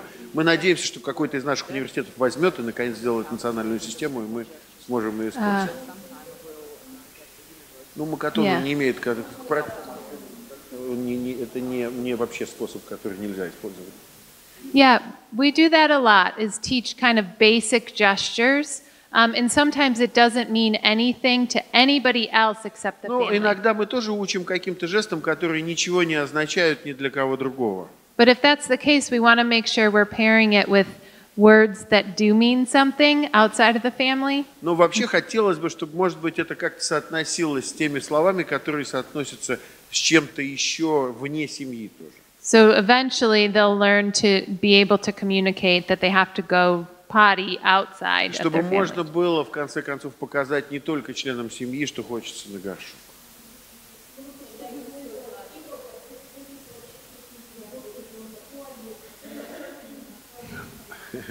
So now it's a discussion. I, uh, they are now very preoccupied by how to show, Oh, not, not the modeling and things, but the symbol. And, uh, and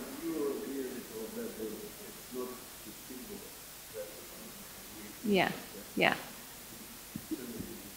Yeah, so in it, you know, to me, as long as the child can do it, whatever it is, if the symbol, the gesture works for that family, um, and you pair it with the word for potty or toilet, then over time they'll learn how to say toilet or potty. На самом деле, вот для меня не самое важное, каким способом именно вы покажете, что там волшебного в картинке или жесте нет.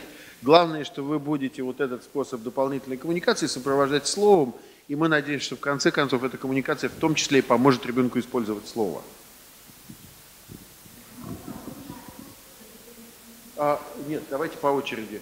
Вы были первыми? Да. Thank you. Подождите, подождите, подождите. Микрофон.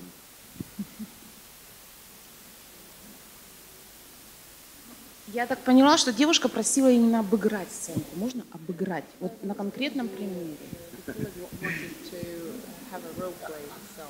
Oh. I mean, we can do a role play. I mean, if you want.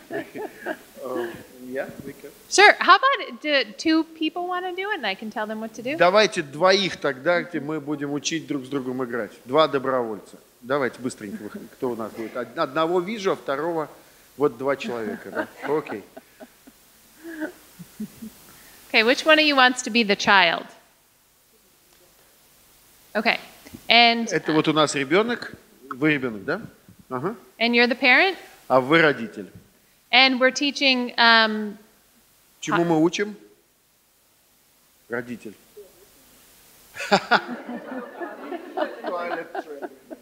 Можно, это самое Okay, so let's.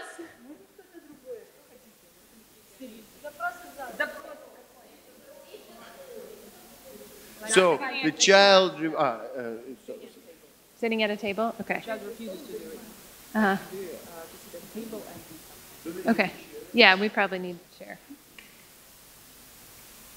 So um, the first thing, so then I would tell you, you're the child. So.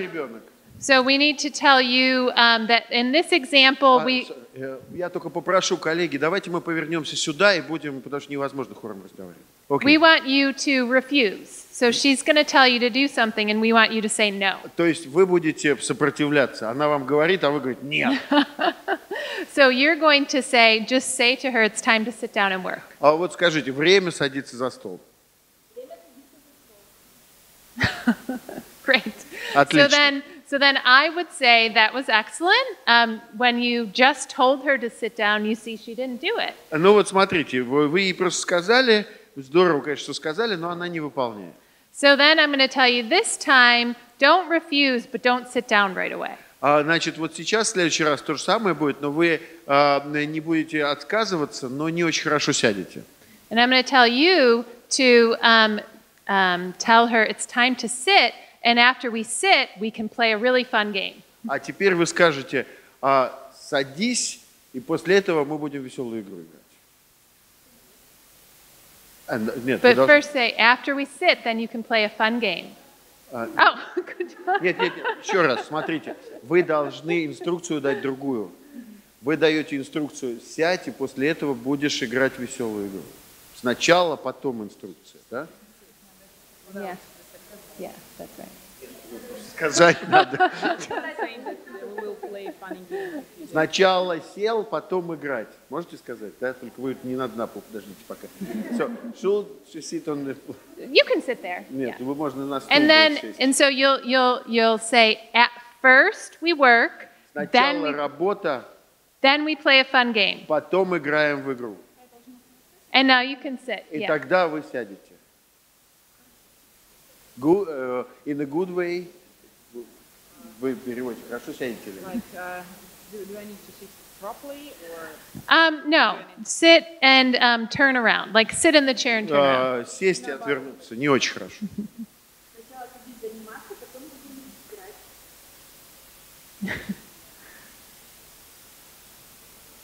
And then, because she obviously sat, she did what you said. You might say, um, "We're going to work for just five minutes, and then you get to um, play." Ну вот, соответственно, поскольку она все-таки села, вы скажете, ну вот теперь пять минут работать, потом играть. So then you're setting a really clear То expectation, есть вы даете ясные ожидания. and you're telling her she gets to do something really cool after. И после этого вы ей что-то такое крутое, очень ей любимое предложите. And so then you, you might work because now you're like, oh, I only have to work for five minutes and then I get to play. And so then you're you're you're gonna turn around and will sit get right. water, I don't know, something. Oh yeah. Yeah, yeah. And so then you might turn around and then you might give her lots of praise То есть for вот, sitting. а, соответственно, когда вы даете инструкцию а, и начинаете с ней работать, вы ее хвалите, она, э, и вы говорите, что вот ты сначала это сделаешь, потом получишь что-то любимое, я говорю, ну что-нибудь там, воды или, ну, неважно, да? And so you might want to give her the bottle, uh, the water after she turns, because now she's sitting down, but you also want her to work. Ну, смотрите, вы хотите, чтобы она не просто сидела, но еще и работала. Вы ее похвалите за то, что она сидит, но не дадите пока воды. So once she picks up a crayon and starts to draw, then you would say, awesome drawing, and give her the water. Значит, а когда она начнет выполнять то, что вы хотели, вы тут же ее похвалите и выдадите то, что было обещано. Ну, допустим, вот эта бутылка воды как награда. Now, what's important in this situation and what we might do again, so stand up again, Ну вот, смотрите, что в этой ситуации важно, давайте вставайте заново. is that if she doesn't do it the first time, Если в первый раз не сделала, you don't want to keep repeating it multiple вам times. нужно сделать так ситуацию смоделировать, чтобы не, не возникло ощущение, что просто надо повторять инструкцию много раз. So, assuming, assuming the child is small enough, Но мы представляем, что вы маленький ребенок. if she doesn't sit down the first time after you explain that and gave her the expectation, Значит, если ребенок не сделал после первой инструкции, you might get the water bottle, вы можете взять вот эту бутылку воды, put it on the table, поставить на стол, and gently guide her without saying anything else. ее молча помочь ей сесть. So that she learns that this is something she has to do. Чтобы она училась, что это что-то, что ей нужно сделать. She can't get out of it. И что она не может от этого отказаться. And she can't, you can't say it, you know, 15 times and then she does it. А, то есть, соответственно, чтобы не получилось, что вы так 15 раз повторили, она потом сделала или не сделала. You know, we, we see this a lot sometimes where parents repeat directions multiple times. Потому что мы это с вами очень часто видим, когда родители повторяют бесконечно одну и ту же. So then children learn they don't have to do it the first time. И чему мы учим ребенка таким образом, что ребенок учится тому, что не нужно выполнять с первого раза. So we don't want to force them to do it, but we want to заставлять это делать. but we want to just say it one time, maybe with one more reminder, Но мы хотели бы сказать это один раз, может быть, с одной напоминалкой. and then gently guide them over and have them А sit down. потом, соответственно, мягко помочь, и- Even if it's just for a выполнить. couple minutes. если даже это просто пару минут. You don't want them to get out of having to do it, because then they learn they don't have to do what you Мы say. не хотим, чтобы они в итоге не сделали то, что вы их попросили сделать, потому что они научатся не выполнять ваше. And so there's two really important things related to that. We want, Две важных вещи есть, которые с этим связаны. because we follow through, Мы следуем с, э, с ними сквозь вот этот процесс. we want to make sure we're only telling children to do things that we're going to follow through on. А мы, э, мы должны быть уверены, что мы говорим только те вещи, которые будут происходить. Like, I'm not going to tell my son to clean up his toys all the time if I don't actually make him clean up his toys. То есть я не говорю о том, что надо бы сейчас убирать игрушки, если это сейчас не происходит непосредственно. Then he learns he doesn't have to do what I say. Потому что это только учит тому, что сейчас не нужно это выполнять. And we need to make sure that our expectations are really clear И and we always follow учить through. тому, что наши ожидания очень ясны. Yeah. Окей, let us play, or I don't know, or you... Вы поняли или на, хотите проиграть еще?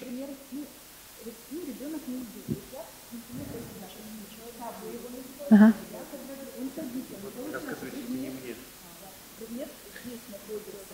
задание сделал.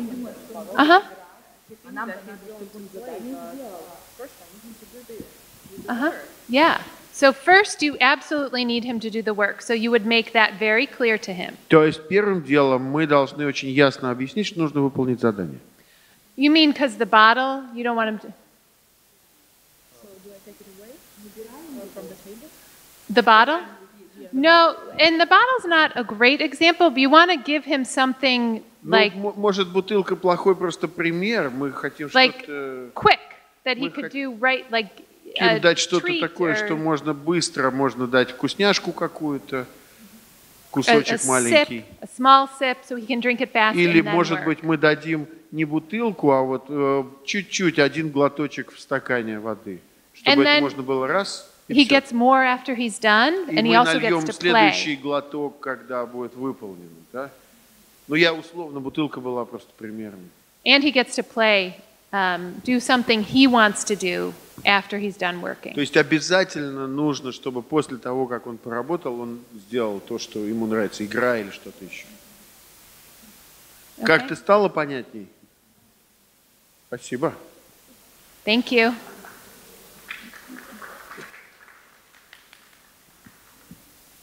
Okay, are there other questions? Еще вопросы? Ага.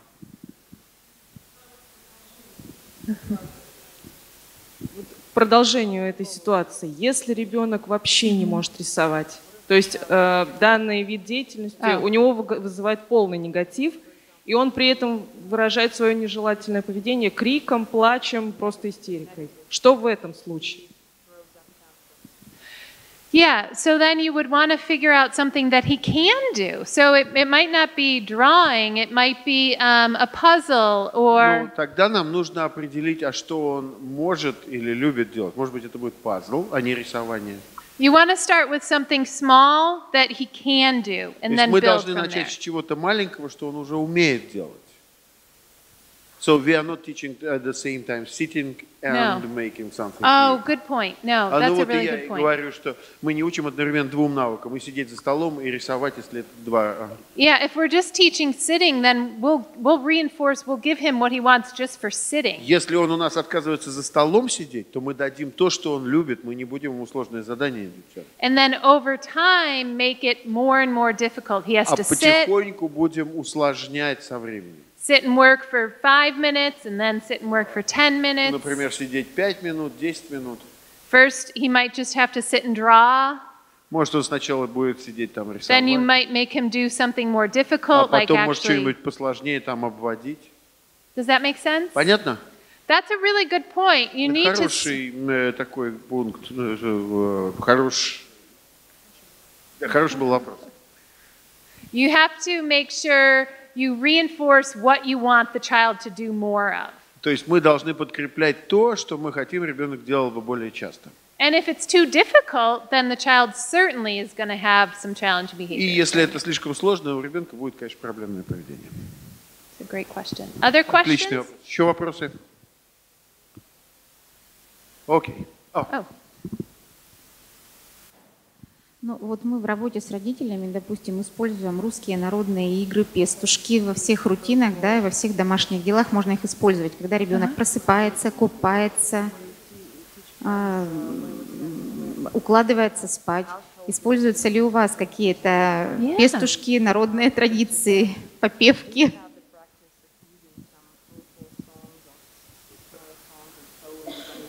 Absolutely, yeah. Absolutely. You can do that during routines. And if it's something that you want to do during those like bedtime routines or when they wake up in the morning, Да, это то, что мы, конечно, используем, и то, что мы используем во время рутин и э, зас- у отхода ко сну, и просыпания. you could do it during all during every time you do bedtime so that children Да, learn конечно, it. вы можете это вот э, делать что-то одинаковое каждый раз, когда вы, допустим, It's a готовитесь. great к way работе. to teach children language, И хорошая штука, чтобы и языковым навыкам детей учить. and it's often a cue for the bedtime routine. Ну и вы, допустим, можете это делать как бы сигнал If you к тому, do it all что the надо time. готовиться спать. And and then it can make it fun and reinforcing if it И это is. можно делать веселым и таким подкрепляющим для ребенка. Great question. Замечательный вопрос. Еще? Okay, Okay. I'll keep going. Ага. Поехали дальше. Well, that was fun.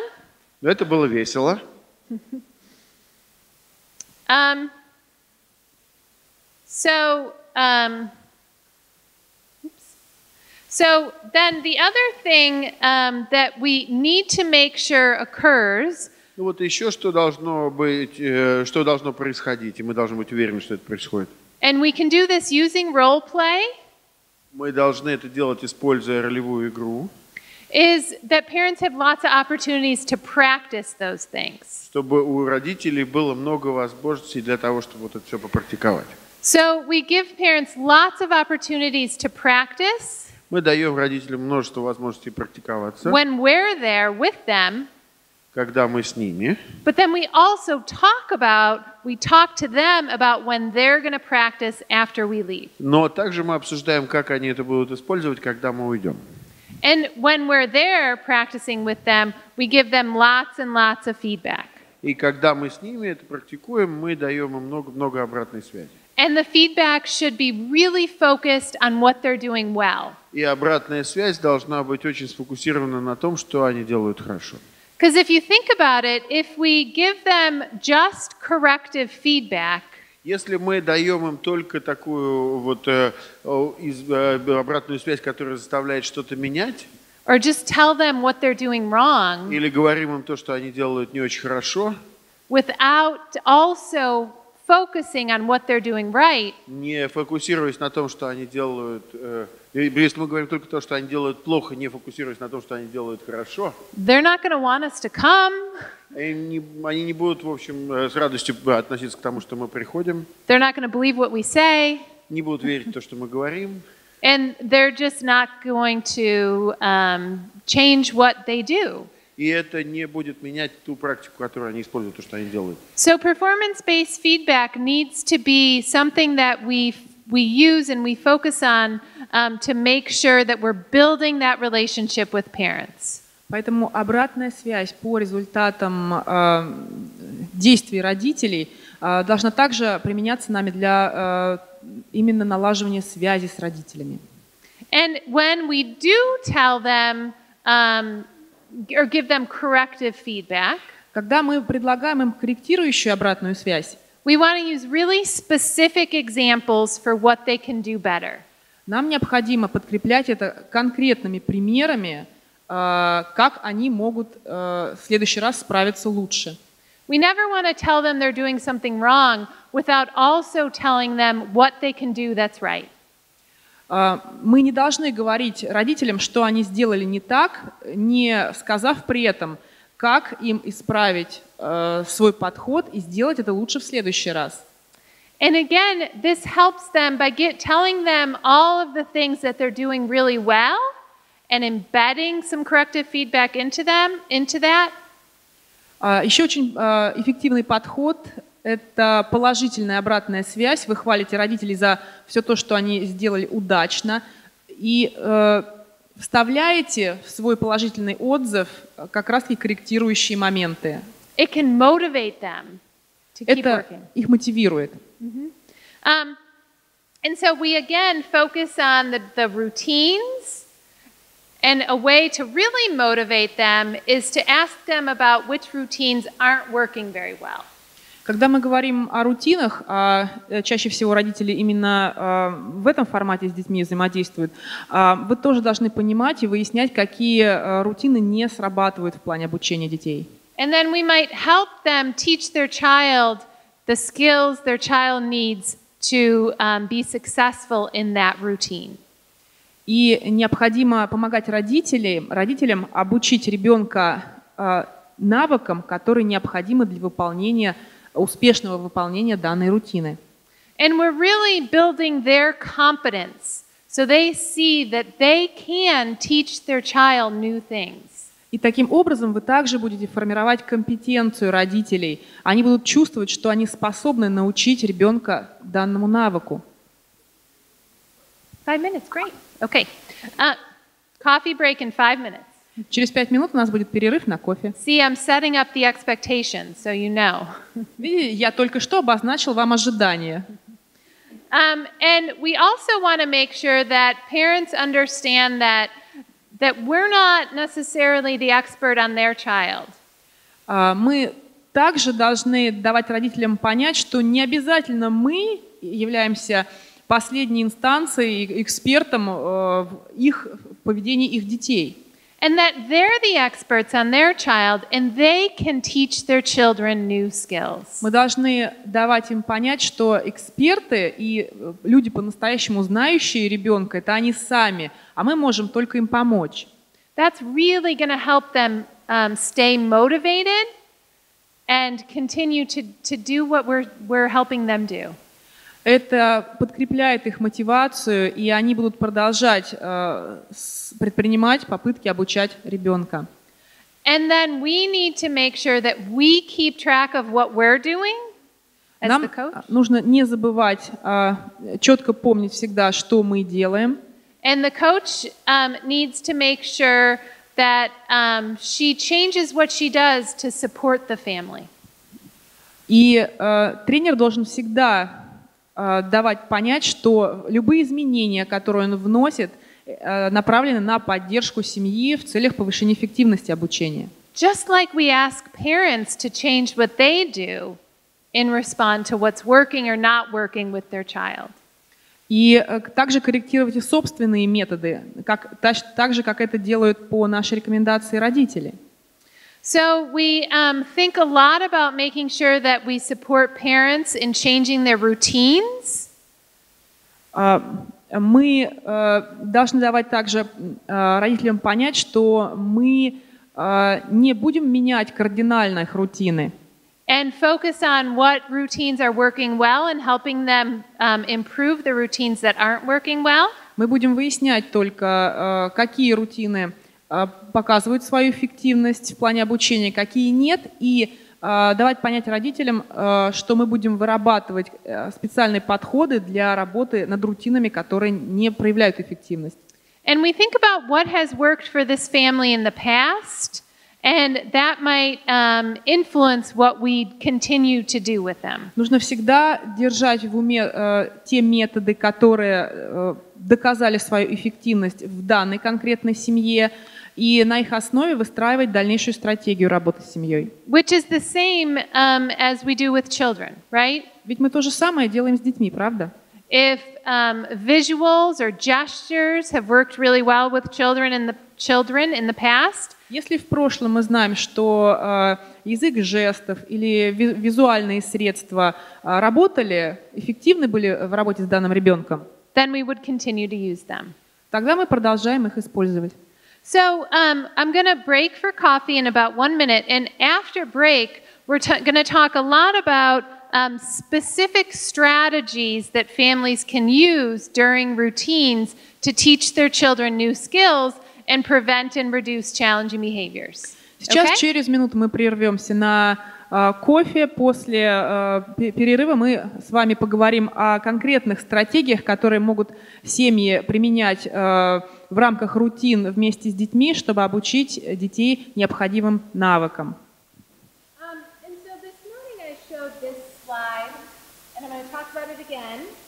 Утром я уже показывала этот слайд, но мы вернемся к нему снова. Working with families to identify what goals are important for families. А Здесь подчеркивается важность работы с семьями и при этом акцент на конкретные стратегии и цели. Uh. Также важно э, всегда помнить, что нужно внедрять данные стратегии в ежедневные рутины.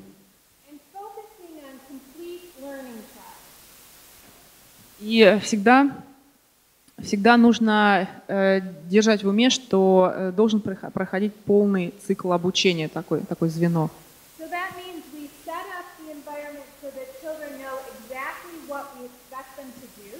Дети в каждый момент должны понимать, э, что мы от них ожидаем. За выполнение таких ожиданий мы их подкрепляем. be easier if I use the microphone, probably. um, and so, um, in that example where we were teaching a child to sit at the table, А помните, мы здесь тренировались э, обучить ребенка сидеть за столом. the complete learning trial would be when we tell the child, sit at the table, wait for him to sit at the table, and then reinforce him for sitting at the table. А, так вот, полный цикл обучения стоял бы в начале из э, этапа, когда мы все-таки его добились того, что он сел за стол. На втором этапе мы наблюдали бы, как он сидит за столом. И на третьем этапе мы бы, его, э, мы бы предложили ему подкрепление за то, что он так хорошо справился. So it teaches the child to sit at the table, but it also teaches the child um, that we need him to do what we say, right? И в данном случае э, мы учим ребенка не только, собственно, сидеть за столом, но и выполнять наши просьбы. And so we make sure we reinforce sitting at the table or drawing, whatever it is that our goal is for a child at that time. То есть в данном случае мы будем подкреплять э, и э, хвалить ребенка за то, что он сел за стол, посидел за столом.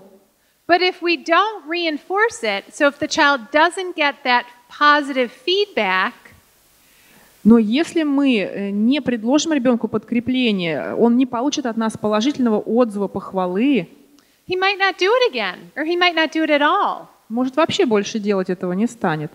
So we have to make sure that when we're teaching children during these routines, we give them clear expectations and then positive feedback when they do what we say. Поэтому каждый раз, когда мы пытаемся привить ребенку какой-либо навык, вначале мы формируем а, ему четкие ожидания, а впоследствии хвалим его за э, проявленную, проявленное желание и за его успех. So we can think about these complete learning trials in multiple different ways, right? It's not just about compliance or doing what we say.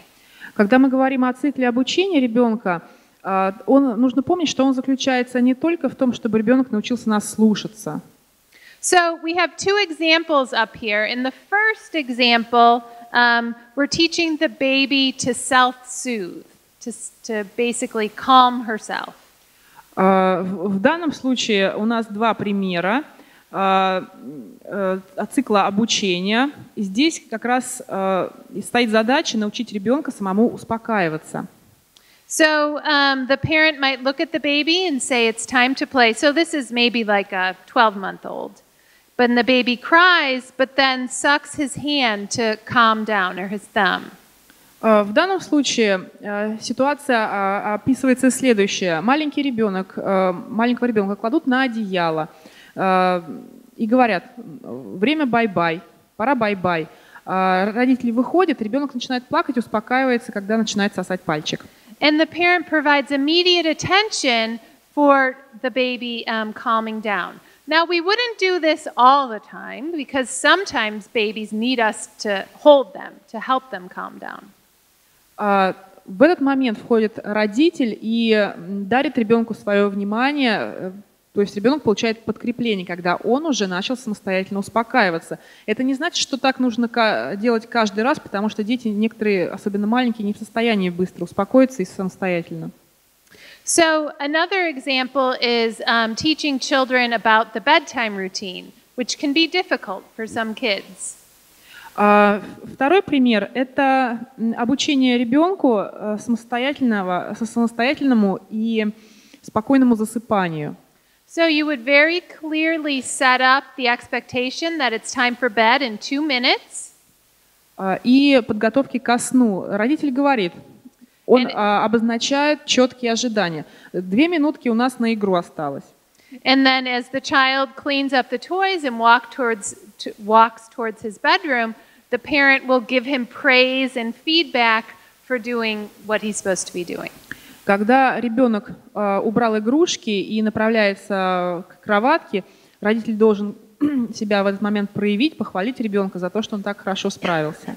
So, we want to make sure that when we're teaching children new skills, we very clearly set up the expectation, and then when they do it, we give them lots of positive feedback for doing it. Я повторюсь, каждый раз, когда мы э, прививаем ребенку новый навык, вначале идет четкая постановка ожиданий.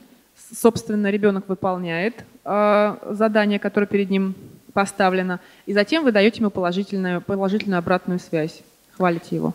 And so you can embed these complete learning trials across the day into routines. И такой цикл обучения в его структуре вы можете внедрять в любые рутины, которые выполняются в течение дня. So the next um, couple slides are videos um, of a hand washing routine. А Далее вы увидите видеоролик о том, как ребенка учат мыть ручки.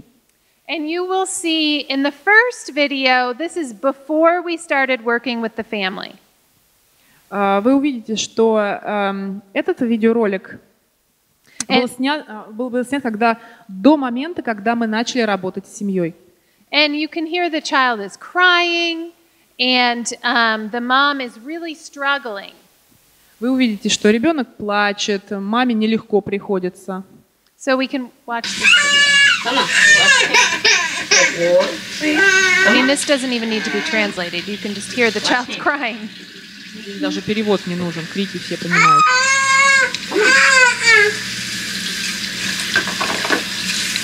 And this was a boy with autism. Это мальчик, э, который страдает аутизмом. And then in the next video, you'll see that we helped her set up the environment a little differently so he knew what to expect. А, На следующем ролике вы увидите, э, как специально была организована среда. And she, in the next video, she uses very simple words. И мама э, стала использовать очень простые слова, that he can repeat and understand. э, которые ребенок э, в состоянии повторить и понять. So she says, wash hands. Она говорит, помой ручки. Turn it off. Turn it on. Выключи, включи. No. And she lets him play a little bit. Видите, она включает элементы игры. Она говорит, чашка.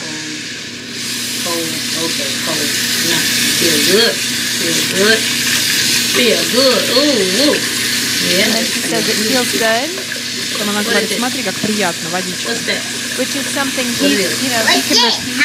This Он может это повторить. And then говорит, мыло. she's prompting him to say soap to get the soap. Видите, она учит его одновременно говорить мыло. And so which one was better, the first one or the second one? Как вы думаете, э, какой из роликов лучше, первый или второй? The second one, right? Правда второй? The mom sets very clear examples, А мама в данном случае предлагает э, наглядный пример, uses very simple language использует простой язык, that he can understand and repeat, э, который ребенок способен понять и повторить, and then gives him lots of feedback, positive feedback regarding hand washing. и она постоянно его хвалит на каждом этапе, когда он моет ручки. And she had come to us because he has autism and he was struggling with communication and lots of routines during their day.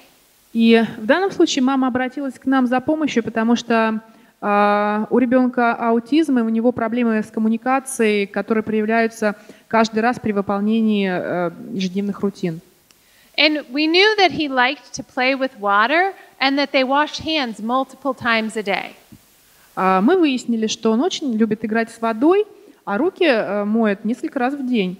So we decided to start with this routine because it happened so often, and we knew that he might like part of it because he liked playing with water.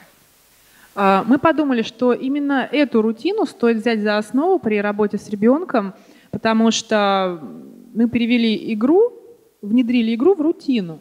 And so we embedded lots of learning goals into this related to um, listening and doing what mom says, as also and also communicating using words. И таким образом а, мы перевели эту рутину в игру. Параллельно мама обучала ребенка словам, то есть а, шел процесс налаживания коммуникации. Mhm.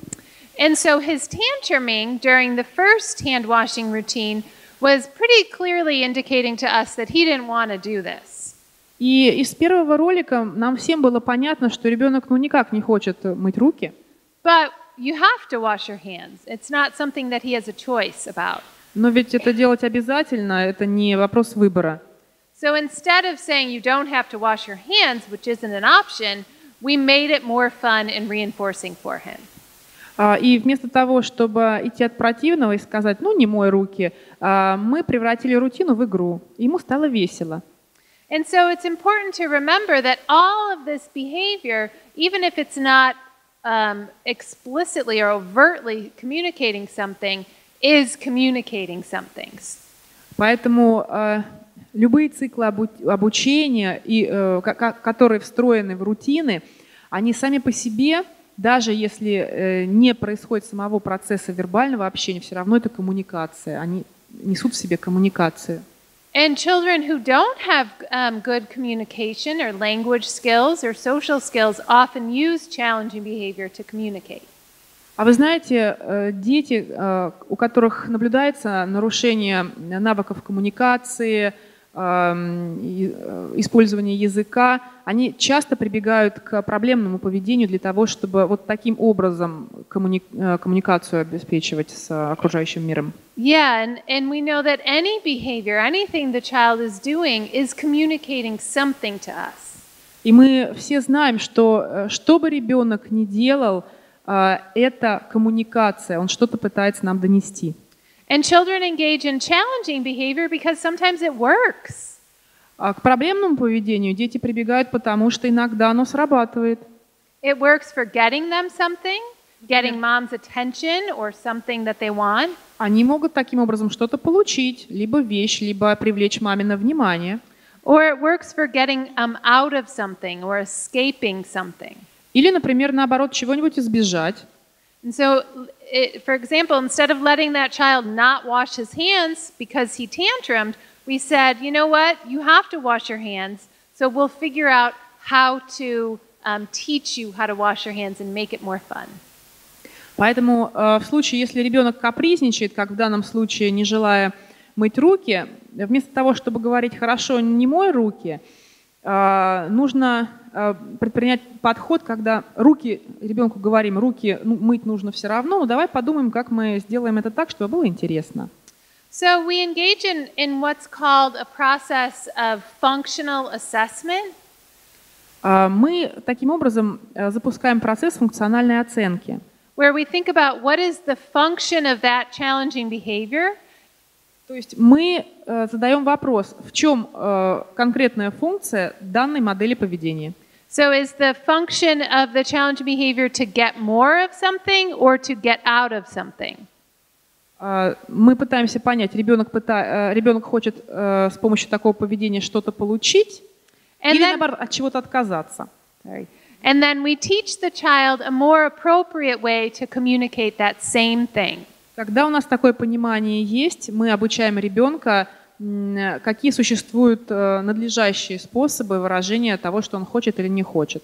So we teach the child new and better communication skills that are more effective and more efficient than the challenging behavior. Таким образом, мы обучаем э, ребенка новым, продуктивным, эффективным навыкам, которые могут прийти на смену проблемному поведению. So we think about um, uh, observing the child and figuring out what's going on um, in the child's daily routines. Мы начинаем с того, что наблюдаем за ребенком и понимаем, каковы его ежедневные рутины. We come up with a hypothesis or a best guess as to what um, might be the function of the challenging behavior. So, for instance, um, if the child is always has a, tan- a tantrum at mealtime um, because she wants, um, she doesn't want to eat her vegetables, she just wants to have dessert. А, И затем мы пытаемся сформировать ну, такое гипотетическое понимание, какова функция данного м, проблемного поведения. Допустим, если ребенок капризничает э, во время приема пищи, мы наблюдаем и пытаемся понять, может быть, он просто овощи, фрукты не хочет есть, а хочет какой-нибудь десерт, поэтому капризничает. And maybe sometimes it's worked because parents are just tired and they just don't really want to deal with it. So they don't make her eat her vegetables, and she's gotten some treats um, without eating her vegetables. И вполне возможно, что в прошлом просто ребенок помнит, что срабатывала такая модель поведения, когда взрослый э, устал, он сейчас не готов вступать в э, противоборство с ребенком, он просто дает ребенку то, что тот хочет. So we want to change that with families, and so we help families say, teach their children how to say, I don't want my vegetables, I want dessert. Поэтому мы работаем с семьями и э, обучаем их, как объяснить ребенку, что он должен отказаться, сказать, я не хочу овощи есть, я хочу сладенького. But also teach children that no, you have to eat some of your vegetables and then you can have dessert. Э, Но это не единственное. Здесь также э, идет процесс обучения ребенка тому, что есть вещи, которые нужно выполнять. Например, овощи есть необходимо. So remember, and, when we have children with challenging behaviors, we, we work with parents to use three different types of strategies. Э, Когда нам приходится работать с проблемным поведением, мы обучаем родителей применять три основных стратегии. Um, prevention strategies, where we're setting up the environment to make it less likely that the challenging behavior happens. Это стратегия э, профилактики проблемного поведения, когда вокруг ребенка создается такая среда, которая не будет способствовать э, тому, чтобы он эм, применял такое проблемное поведение. We teach the parents to teach the children new skills, new ways to communicate. А, Мы обучаем родителей, э, как научить детей новым навыкам, новым способам коммуникации. And then um, we teach again, uh, we teach the parents new ways to respond to the challenging behavior so it doesn't work. И, э, в-третьих, мы обучаем родителей, как правильно реагировать на проблемное поведение, чтобы ребенок понимал, что не работает. So we use lots of praise. Итак, мы применяем достаточно много похвалы. Um, and we do this all day long with children. So we give them lots and lots of um, praise and reinforcement for doing the right thing. И мы постоянно его в течение дня хвалим, а, мы его подкрепляем за то, что он делает хорошо. We give them very clear expectations. Мы четко формируем ребенку ожидания от него. For instance, we might um, make teach parents how to um, tell their children exactly what's going to happen during the bedtime routine. Например, мы э, говорим родителям, чтобы они объяснили ребенку, что конкретно они будут делать перед тем, как ребенок заснет. Like first you get undressed, then you put your pajamas on, Например, вначале раздеваешься, одеваешь пижамку, then you brush your teeth, зубки почистишь, wash your face and hands, умоешься, руки помоешь. and then you get to pick out two books to read before bed. А потом выберешь две любимых книжки, и мы почитаем перед сном. Um, and so we help parents understand that when they set up the expectation very clearly for children, they might be preventing challenging behaviors from even happening at all. Мы объясняем родителям, что формируя ожидания ребенка, э, они предотвращают э, риск возникновения проблемного поведения в конкретной ситуации. And the first then contingency is something that we can teach parents to do all the time. So if we know, if, and I do this a lot um, with my son, but also with other families, if we know the child wants something, I might say, well, first, clean up your toys, then you can watch a movie. Есть так называемый запасной план, и э, мы часто применяем его в нашей жизни э, в общении с детьми. Я даже прибегаю к нему в общении со своим ребенком, когда я говорю сыну, если он отказывается что-то делать, вот если ты это хочешь, хорошо, э, ты это получишь, когда выполнишь то, что от тебя сейчас требуется. Or if you want to play a game or go to the park, I say, first, you have to do your homework. Хочешь поиграть, хочешь побежать в парк, вначале сделай домашнюю работу. And then the other really important thing to do is to think about what are the times in the day that are difficult. So, are there specific routines, like the bedtime routine, that are difficult? А, Также необходимо э, замечать, какие в течение дня рутины вызывают а, наибольшую э, трудность у And ребенка. how can you change that to make it easier for the child or so that the child understands what the expectations are? Какие изменения можно внести в данную рутину, чтобы э, для ребенка она стала приятной? Um, and so there also, I, I talked a little bit this morning about um, ignoring. And so we call this planned ignoring, where we ignore kind of minor challenging behaviors. А, Еще я утром упоминала о таком э, феномене, как игнорирование, э, Yes, parents ignoring. стратегия игнорирования, А, в том числе стратегия игнорирования родителями. That's right. Um, and, s- and because we don't want to um, give children extra attention for challenging behaviors, Это значит, что э, мы лишаем э, ребенка внимания за проблемное поведение. because Okay, I'm, I relaxed, so I can... oh, good, okay. То есть э, стратегия игнорирования позволяет не давать ответ на нежелательное поведение ребенка.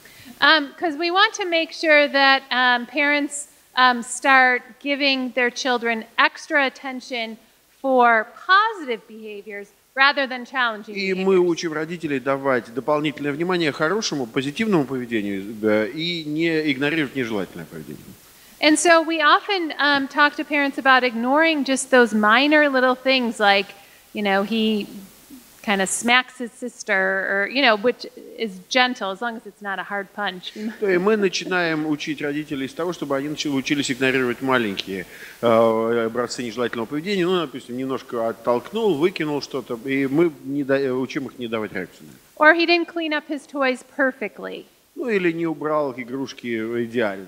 You might ignore some of those minor things and give him lots and lots of attention for things that he's doing well. Ну и, соответственно, когда мы вот такие вещи игнорируем, зато мы даем много-много-много внимания за то, что делается хорошо. We also talk about logical and natural consequences. Ну и также мы говорим о натуральных последствиях.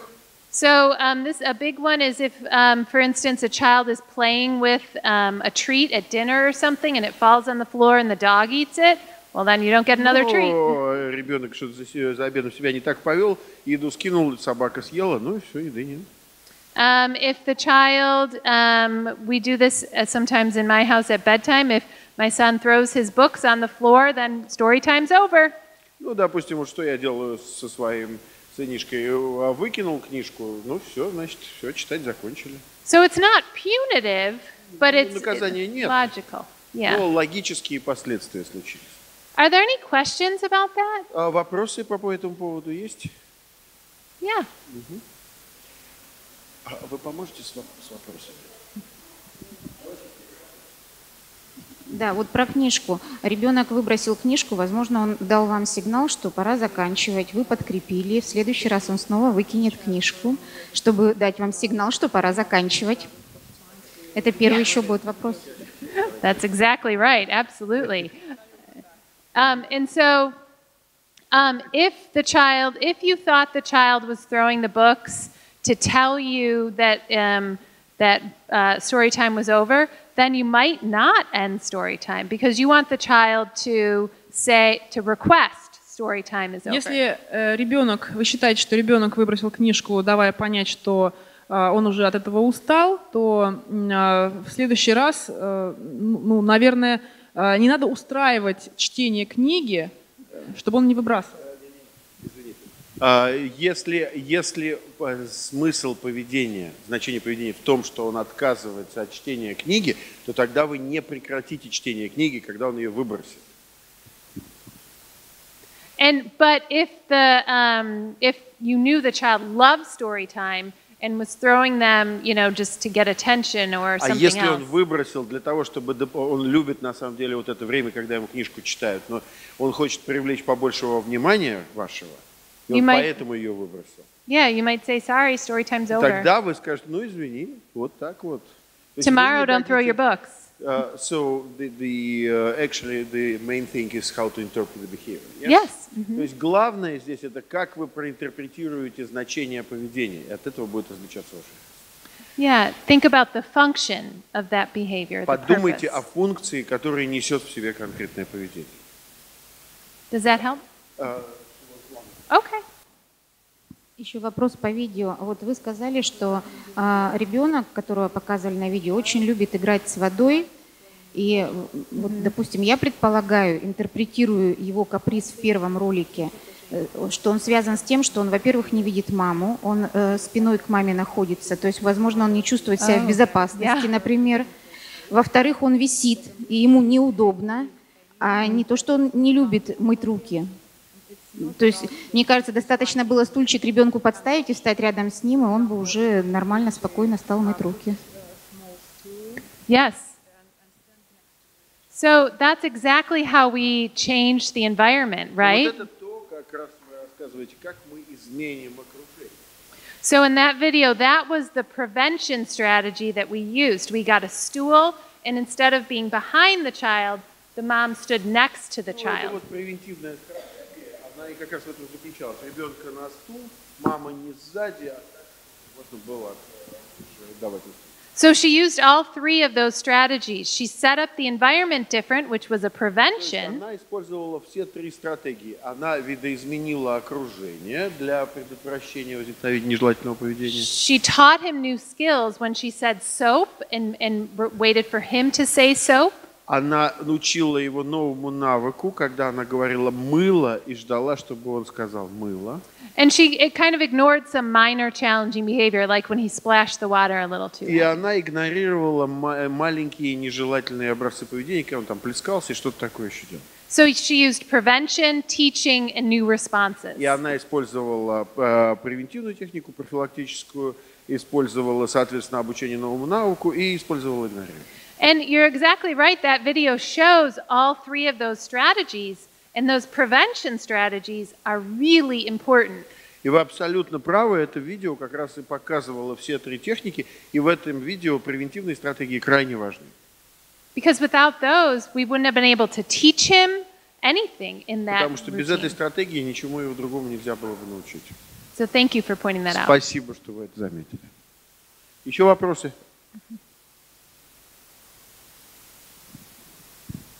Скажите, пожалуйста, вот вы говорили о том, что время на ожидание нужно ребенку дать. Две минуты, пять ребенку дать. Э, Как он должен понять? Для ребенка понятие это абстрактное. Ну, 5 минут прошло, 10 минут Oh, прошло. Как он должен понять, что вот Yeah. мы идем спать, да, вот именно вот когда вот пройдет 5 минут, а не 2. That, that is such a great point. Отличный вопрос.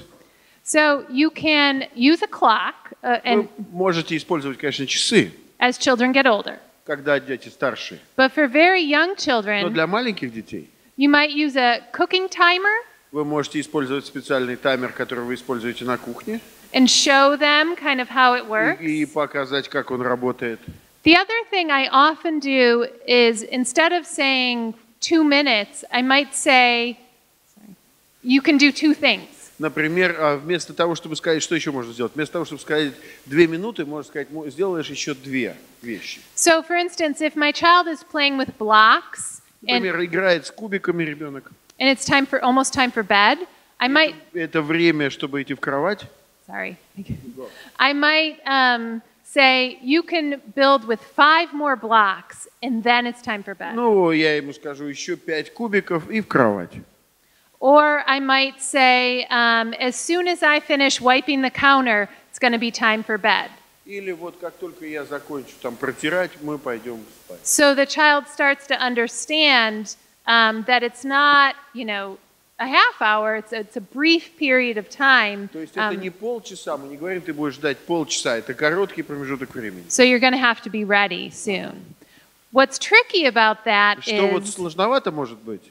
if you say something like, um, which I've done with my child, you know, you can, you can do one more puzzle and then it's time for bed. Ну вот, э, может быть, если вы сказали, еще один пазл сделаешь и пойдешь спать. As my child's gotten older, and this happens in lots of families, he'll go really slow with the puzzle. А он может, как только он постарше со- стал и соображает уже, как это, в общем, он начинает делать очень медленно.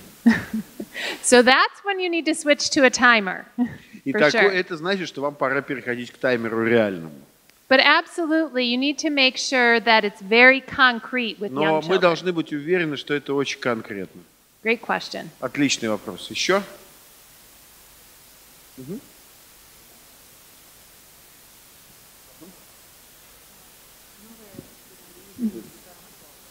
Oh, yes. То есть ab- предложение использовать песочные часы, так что если не Sand timers, yeah, because it's very visual and they can see Ну, when потому it's что over. это зрительно, зрительное подкрепление тому, как уходит время. Or just five, four. Yeah, or just counting. You know, if you have smartphones too, there are all sorts of apps. Ну вот смотрите, можно просто пальцами показывать, осталось 5, осталось 4, еще что-то. А можно использовать смартфон. Вы сейчас можете загрузить миллион разных при- приложений, которые зрительно будут показывать, как утекает время. that have very visual timers that help children Это understand. очень хорошо зрительно показывают и учат детей использовать. But honestly, um, I, I rarely use um, those kinds of timers. Just counting or um, using another reference is just as easy. Но я, честно говоря, вот редко пользуюсь такими механическими устройствами, электронными устройствами, потому что обычно достаточно, если вы просто можете считать, показывать там, или, говоря, э, э, перенаправлять на что-то там, сколько кубиков осталось или сколько.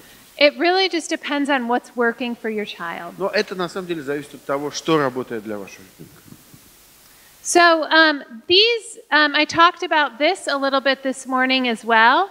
Um, Вот and, я об этом поговорила утром сегодня.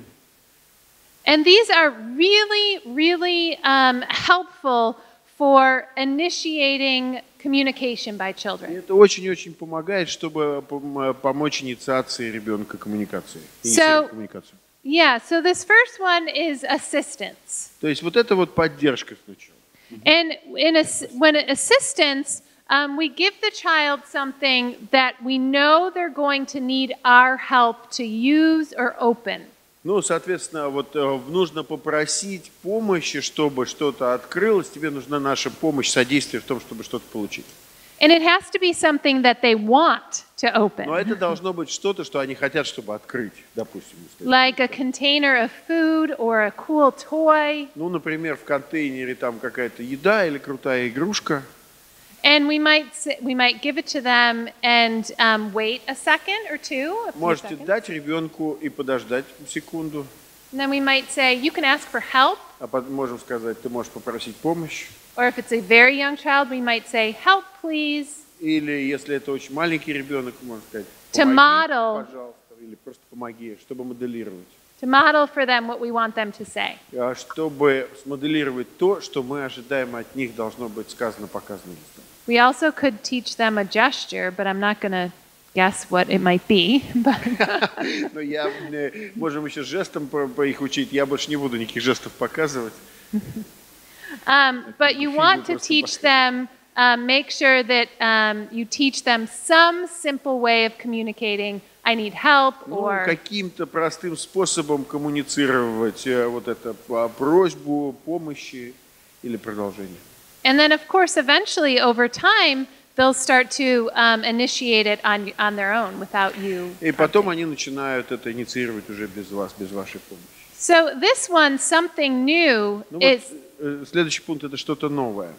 um, is good for um, helping um, children engage with um, uh, a new activity. Это хорошо помогает э, э, детям вовлекаться в новые активности. If it's something novel and exciting, Если это что-то такое воодушевляющее, новое, you might kind of hold on to it and wait for them to ask for it. и вы можете это так попридержать и подождать, пока вас попросят. So you might say, My turn, можете сказать, моя очередь, or I want that toy, или я хочу эту игрушку. to model some very simple language that, Чтобы смоделировать очень простой язык, который можно использовать, that they can imitate and say. который они смогут сымитировать и сказать. And then this next one is called silliness or being goofy. Ну вот здесь перевели как дурачество или просто вот, соответственно, что-то такое, когда мы делаем э, не очень умное, но, но для того, чтобы развеселить. Because remember, it's important when we're teaching children to communicate, to communicate a full repertoire, not just I want something. Ну и вы помните, когда мы учим э, коммуникации, социальному взаимодействию, нам не просто же только я хочу, я хочу, дай, дай, дай. Мы хотим более широкому репертуару э, действий пол- научить. So we, you know, do this a lot where we might put the child's hat on our head, Можем э, шапочку ребенка себе на голову одеть. and the child will say, "My hat," or а он "That's скажет, silly." это мое. Um, and so we do something that kind of violates the expectations. That's, То есть мы делаем что-то, что нарушает ожидания. and then this next one is really great, and we can do it all day long, and that's embed choices. Ну и вот э, следующая, это очень замечательная штука, которую мы в течение всего дня можем делать, это выбор. But we want to make sure they're real choices. Мы должны быть уверены, что это настоящий выбор. We don't use threats like either you sit down or I'm going to go get your father. Но мы не используем запугивание или That's сядешь, not или a папу choice. позову. It's not a choice. Это не выбор на самом деле. It would be like sit down. If you sit down, you can have this book or this book. Ну, то есть вот выбор это когда сядешь, получишь, хочешь вот эту книжку или эту. если. Or we just embed choices throughout the day to give them an opportunity to tell us um, and label objects. Ну, мы можем также внедрять в ситуации выбора, выбора по всему дню, чтобы мы могли использовать их внутри рутины. I mean, we can really use choices all day long. You know, do you want one piece or two? Ну, можно в любой ситуации использовать в течение дня. Один кусочек или два. Do you want to sit in the stroller or help me push the stroller? Хочешь в коляске сидеть или толкать коляску? Do you want to um, have, um, you know, orange juice or milk? А, вот, вот the first one. Orange juice А, or хочешь juice? а, апельсинового сока или молока? So you can really embed choices all day long. And again, it helps children learn a full repertoire of communication and not just that they want something. Ну, соответственно, и можно учить вот по самым разным наборам коммуникативным, а не только просто вот «я хочу».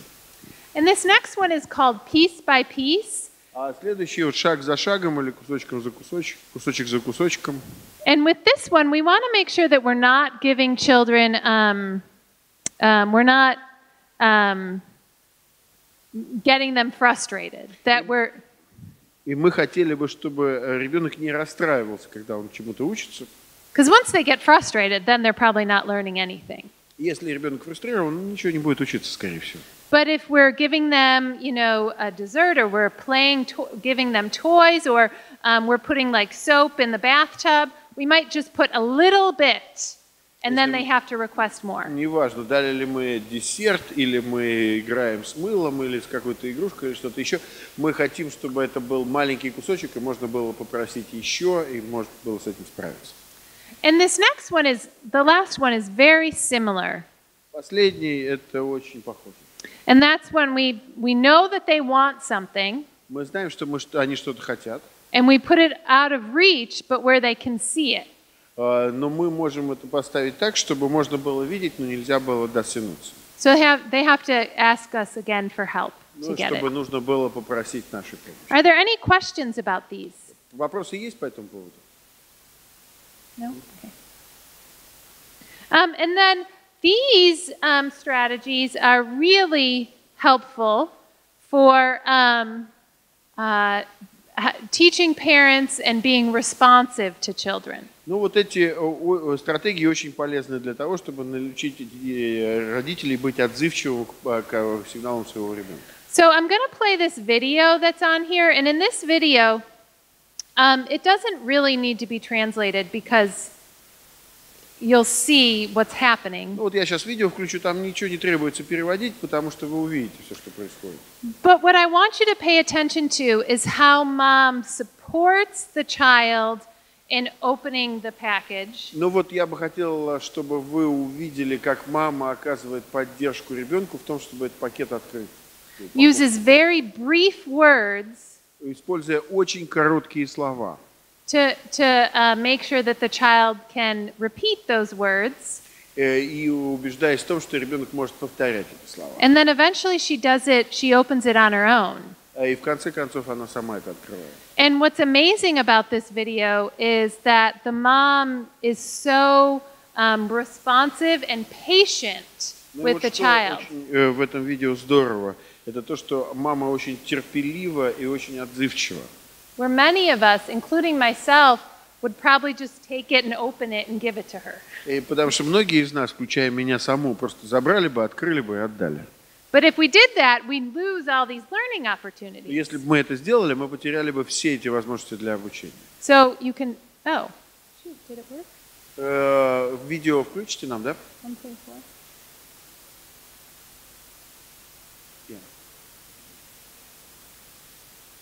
Сейчас будет. Okay.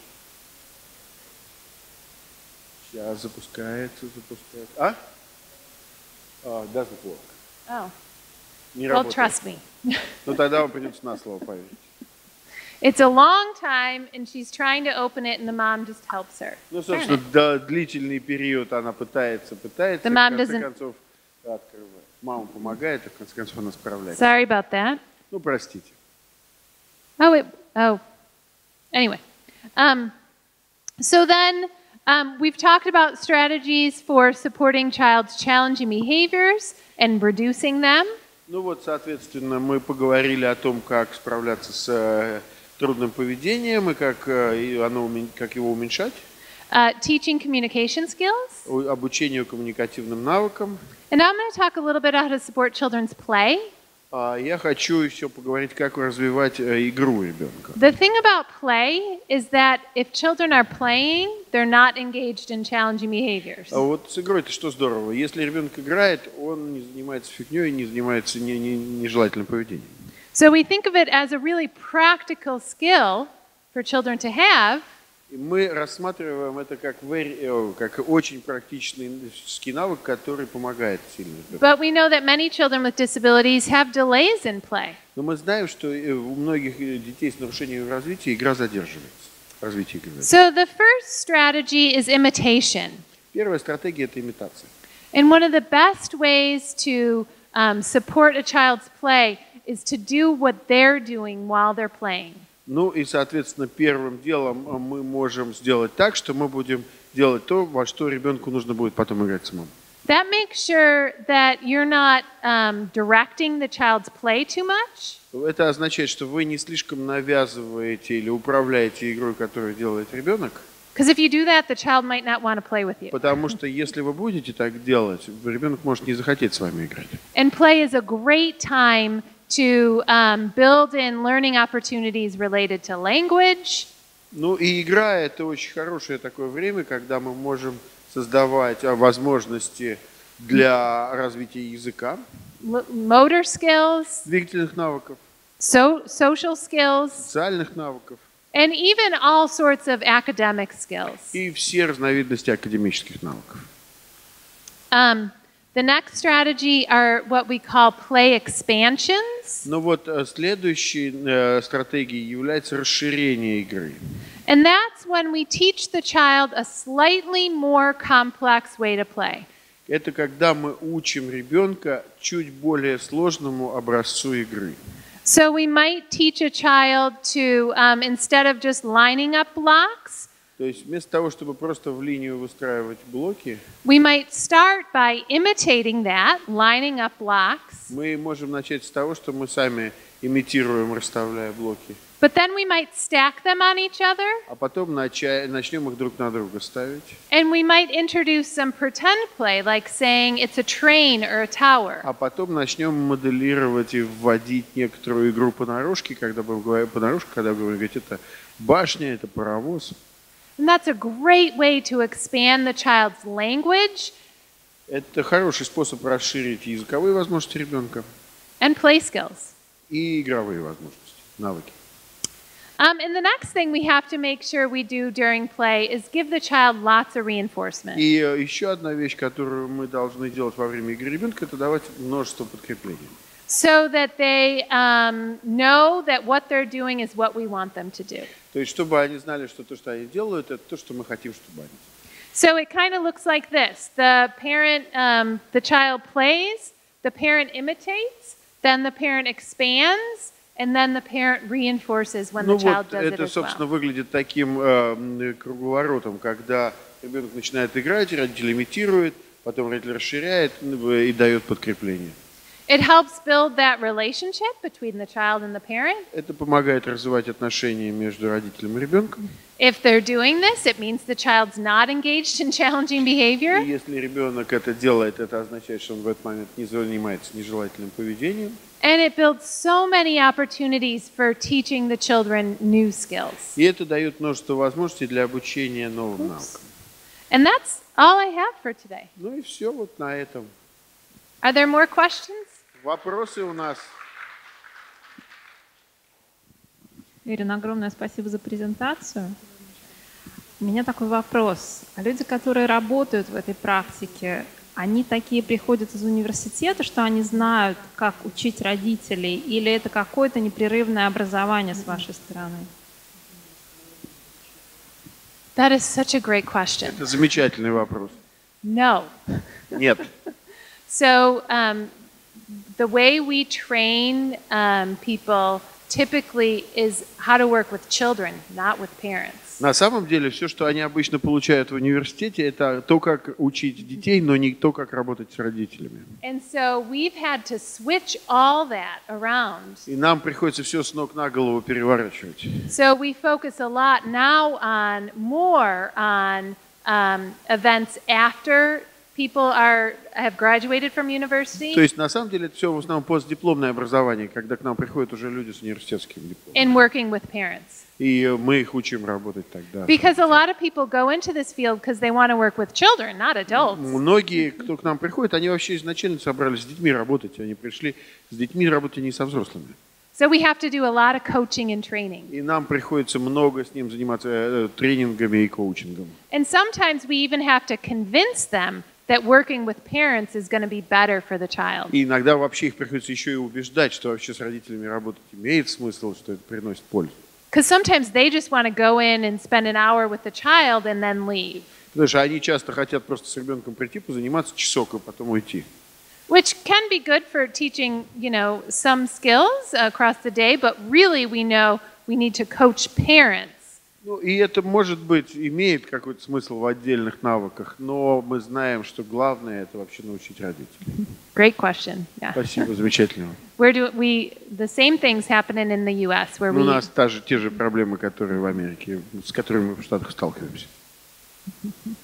Ага. Меня зовут Ольга, и вопрос по поводу игры. Скажите, пожалуйста, если семья обращается э, за помощью том возрасте, когда уже утерян сенситивный период для развития игровых навыков, то стоит ли на них делать акцент, либо может сконцентрировать усилия на чем-то другом? And the question is, are there any Oh. sensitive periods for play? Oh, so um, that's a good question, and it's complex. Хороший вопрос, и он такой комплексный вопрос. So um, I, I don't, there aren't necessarily specific sensitive periods for learning play. Нет таких специфических периодов, в которых надо научиться играть. Of course, with everything, we want to teach children as early as we can, Конечно, мы всему их хотим научить настолько рано, насколько возможно. because that changes their developmental trajectory. Потому что это меняет их про- траекторию развития. Because learning is cumulative. Потому что это такой кумулятивный процесс, который As you learn one skill, then you then build on and learn more skills. Потому что вы одному научились науку, это влечет за собой возможность обучения следующему. But related to play, play is really important for all of us, right? Но на самом деле вот игра это такая штука особенная, она вообще для всех важна. So as children get older, what their play might look differently, but it's still play. Ну, может быть, у более старшего ребенка игра выглядит по-другому, но это по-прежнему игра. You know, as children, um, you know, get older, they might start playing sports. Может быть, у старших ребят это вообще спорт. And as long as you're not too competitive, it can be fun. Но и пока вы не перешли к реальным соревнованиям, там может быть весело.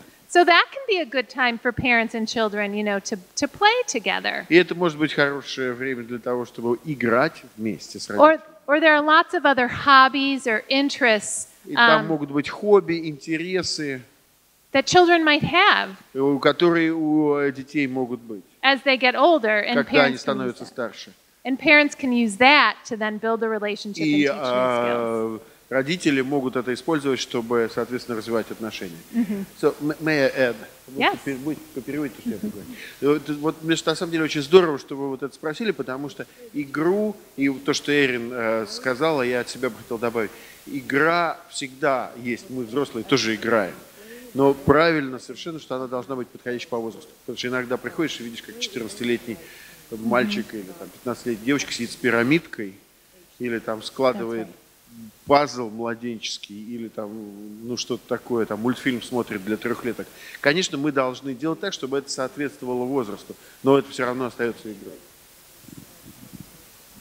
That's right, and it needs to be developmentally appropriate. И к, к возрасту развития подходить, и к возрасту биологическому. Это бывает сложно подавать. Because it really is um, a context for um, helping children develop friendships with other kids their same age. И Too. э, это может помочь им в том числе устанавливать отношения и дружбу со сверстниками, если это подобающим образом. Great question. Отлично. Еще вопросы? Ну, тогда похлопаем.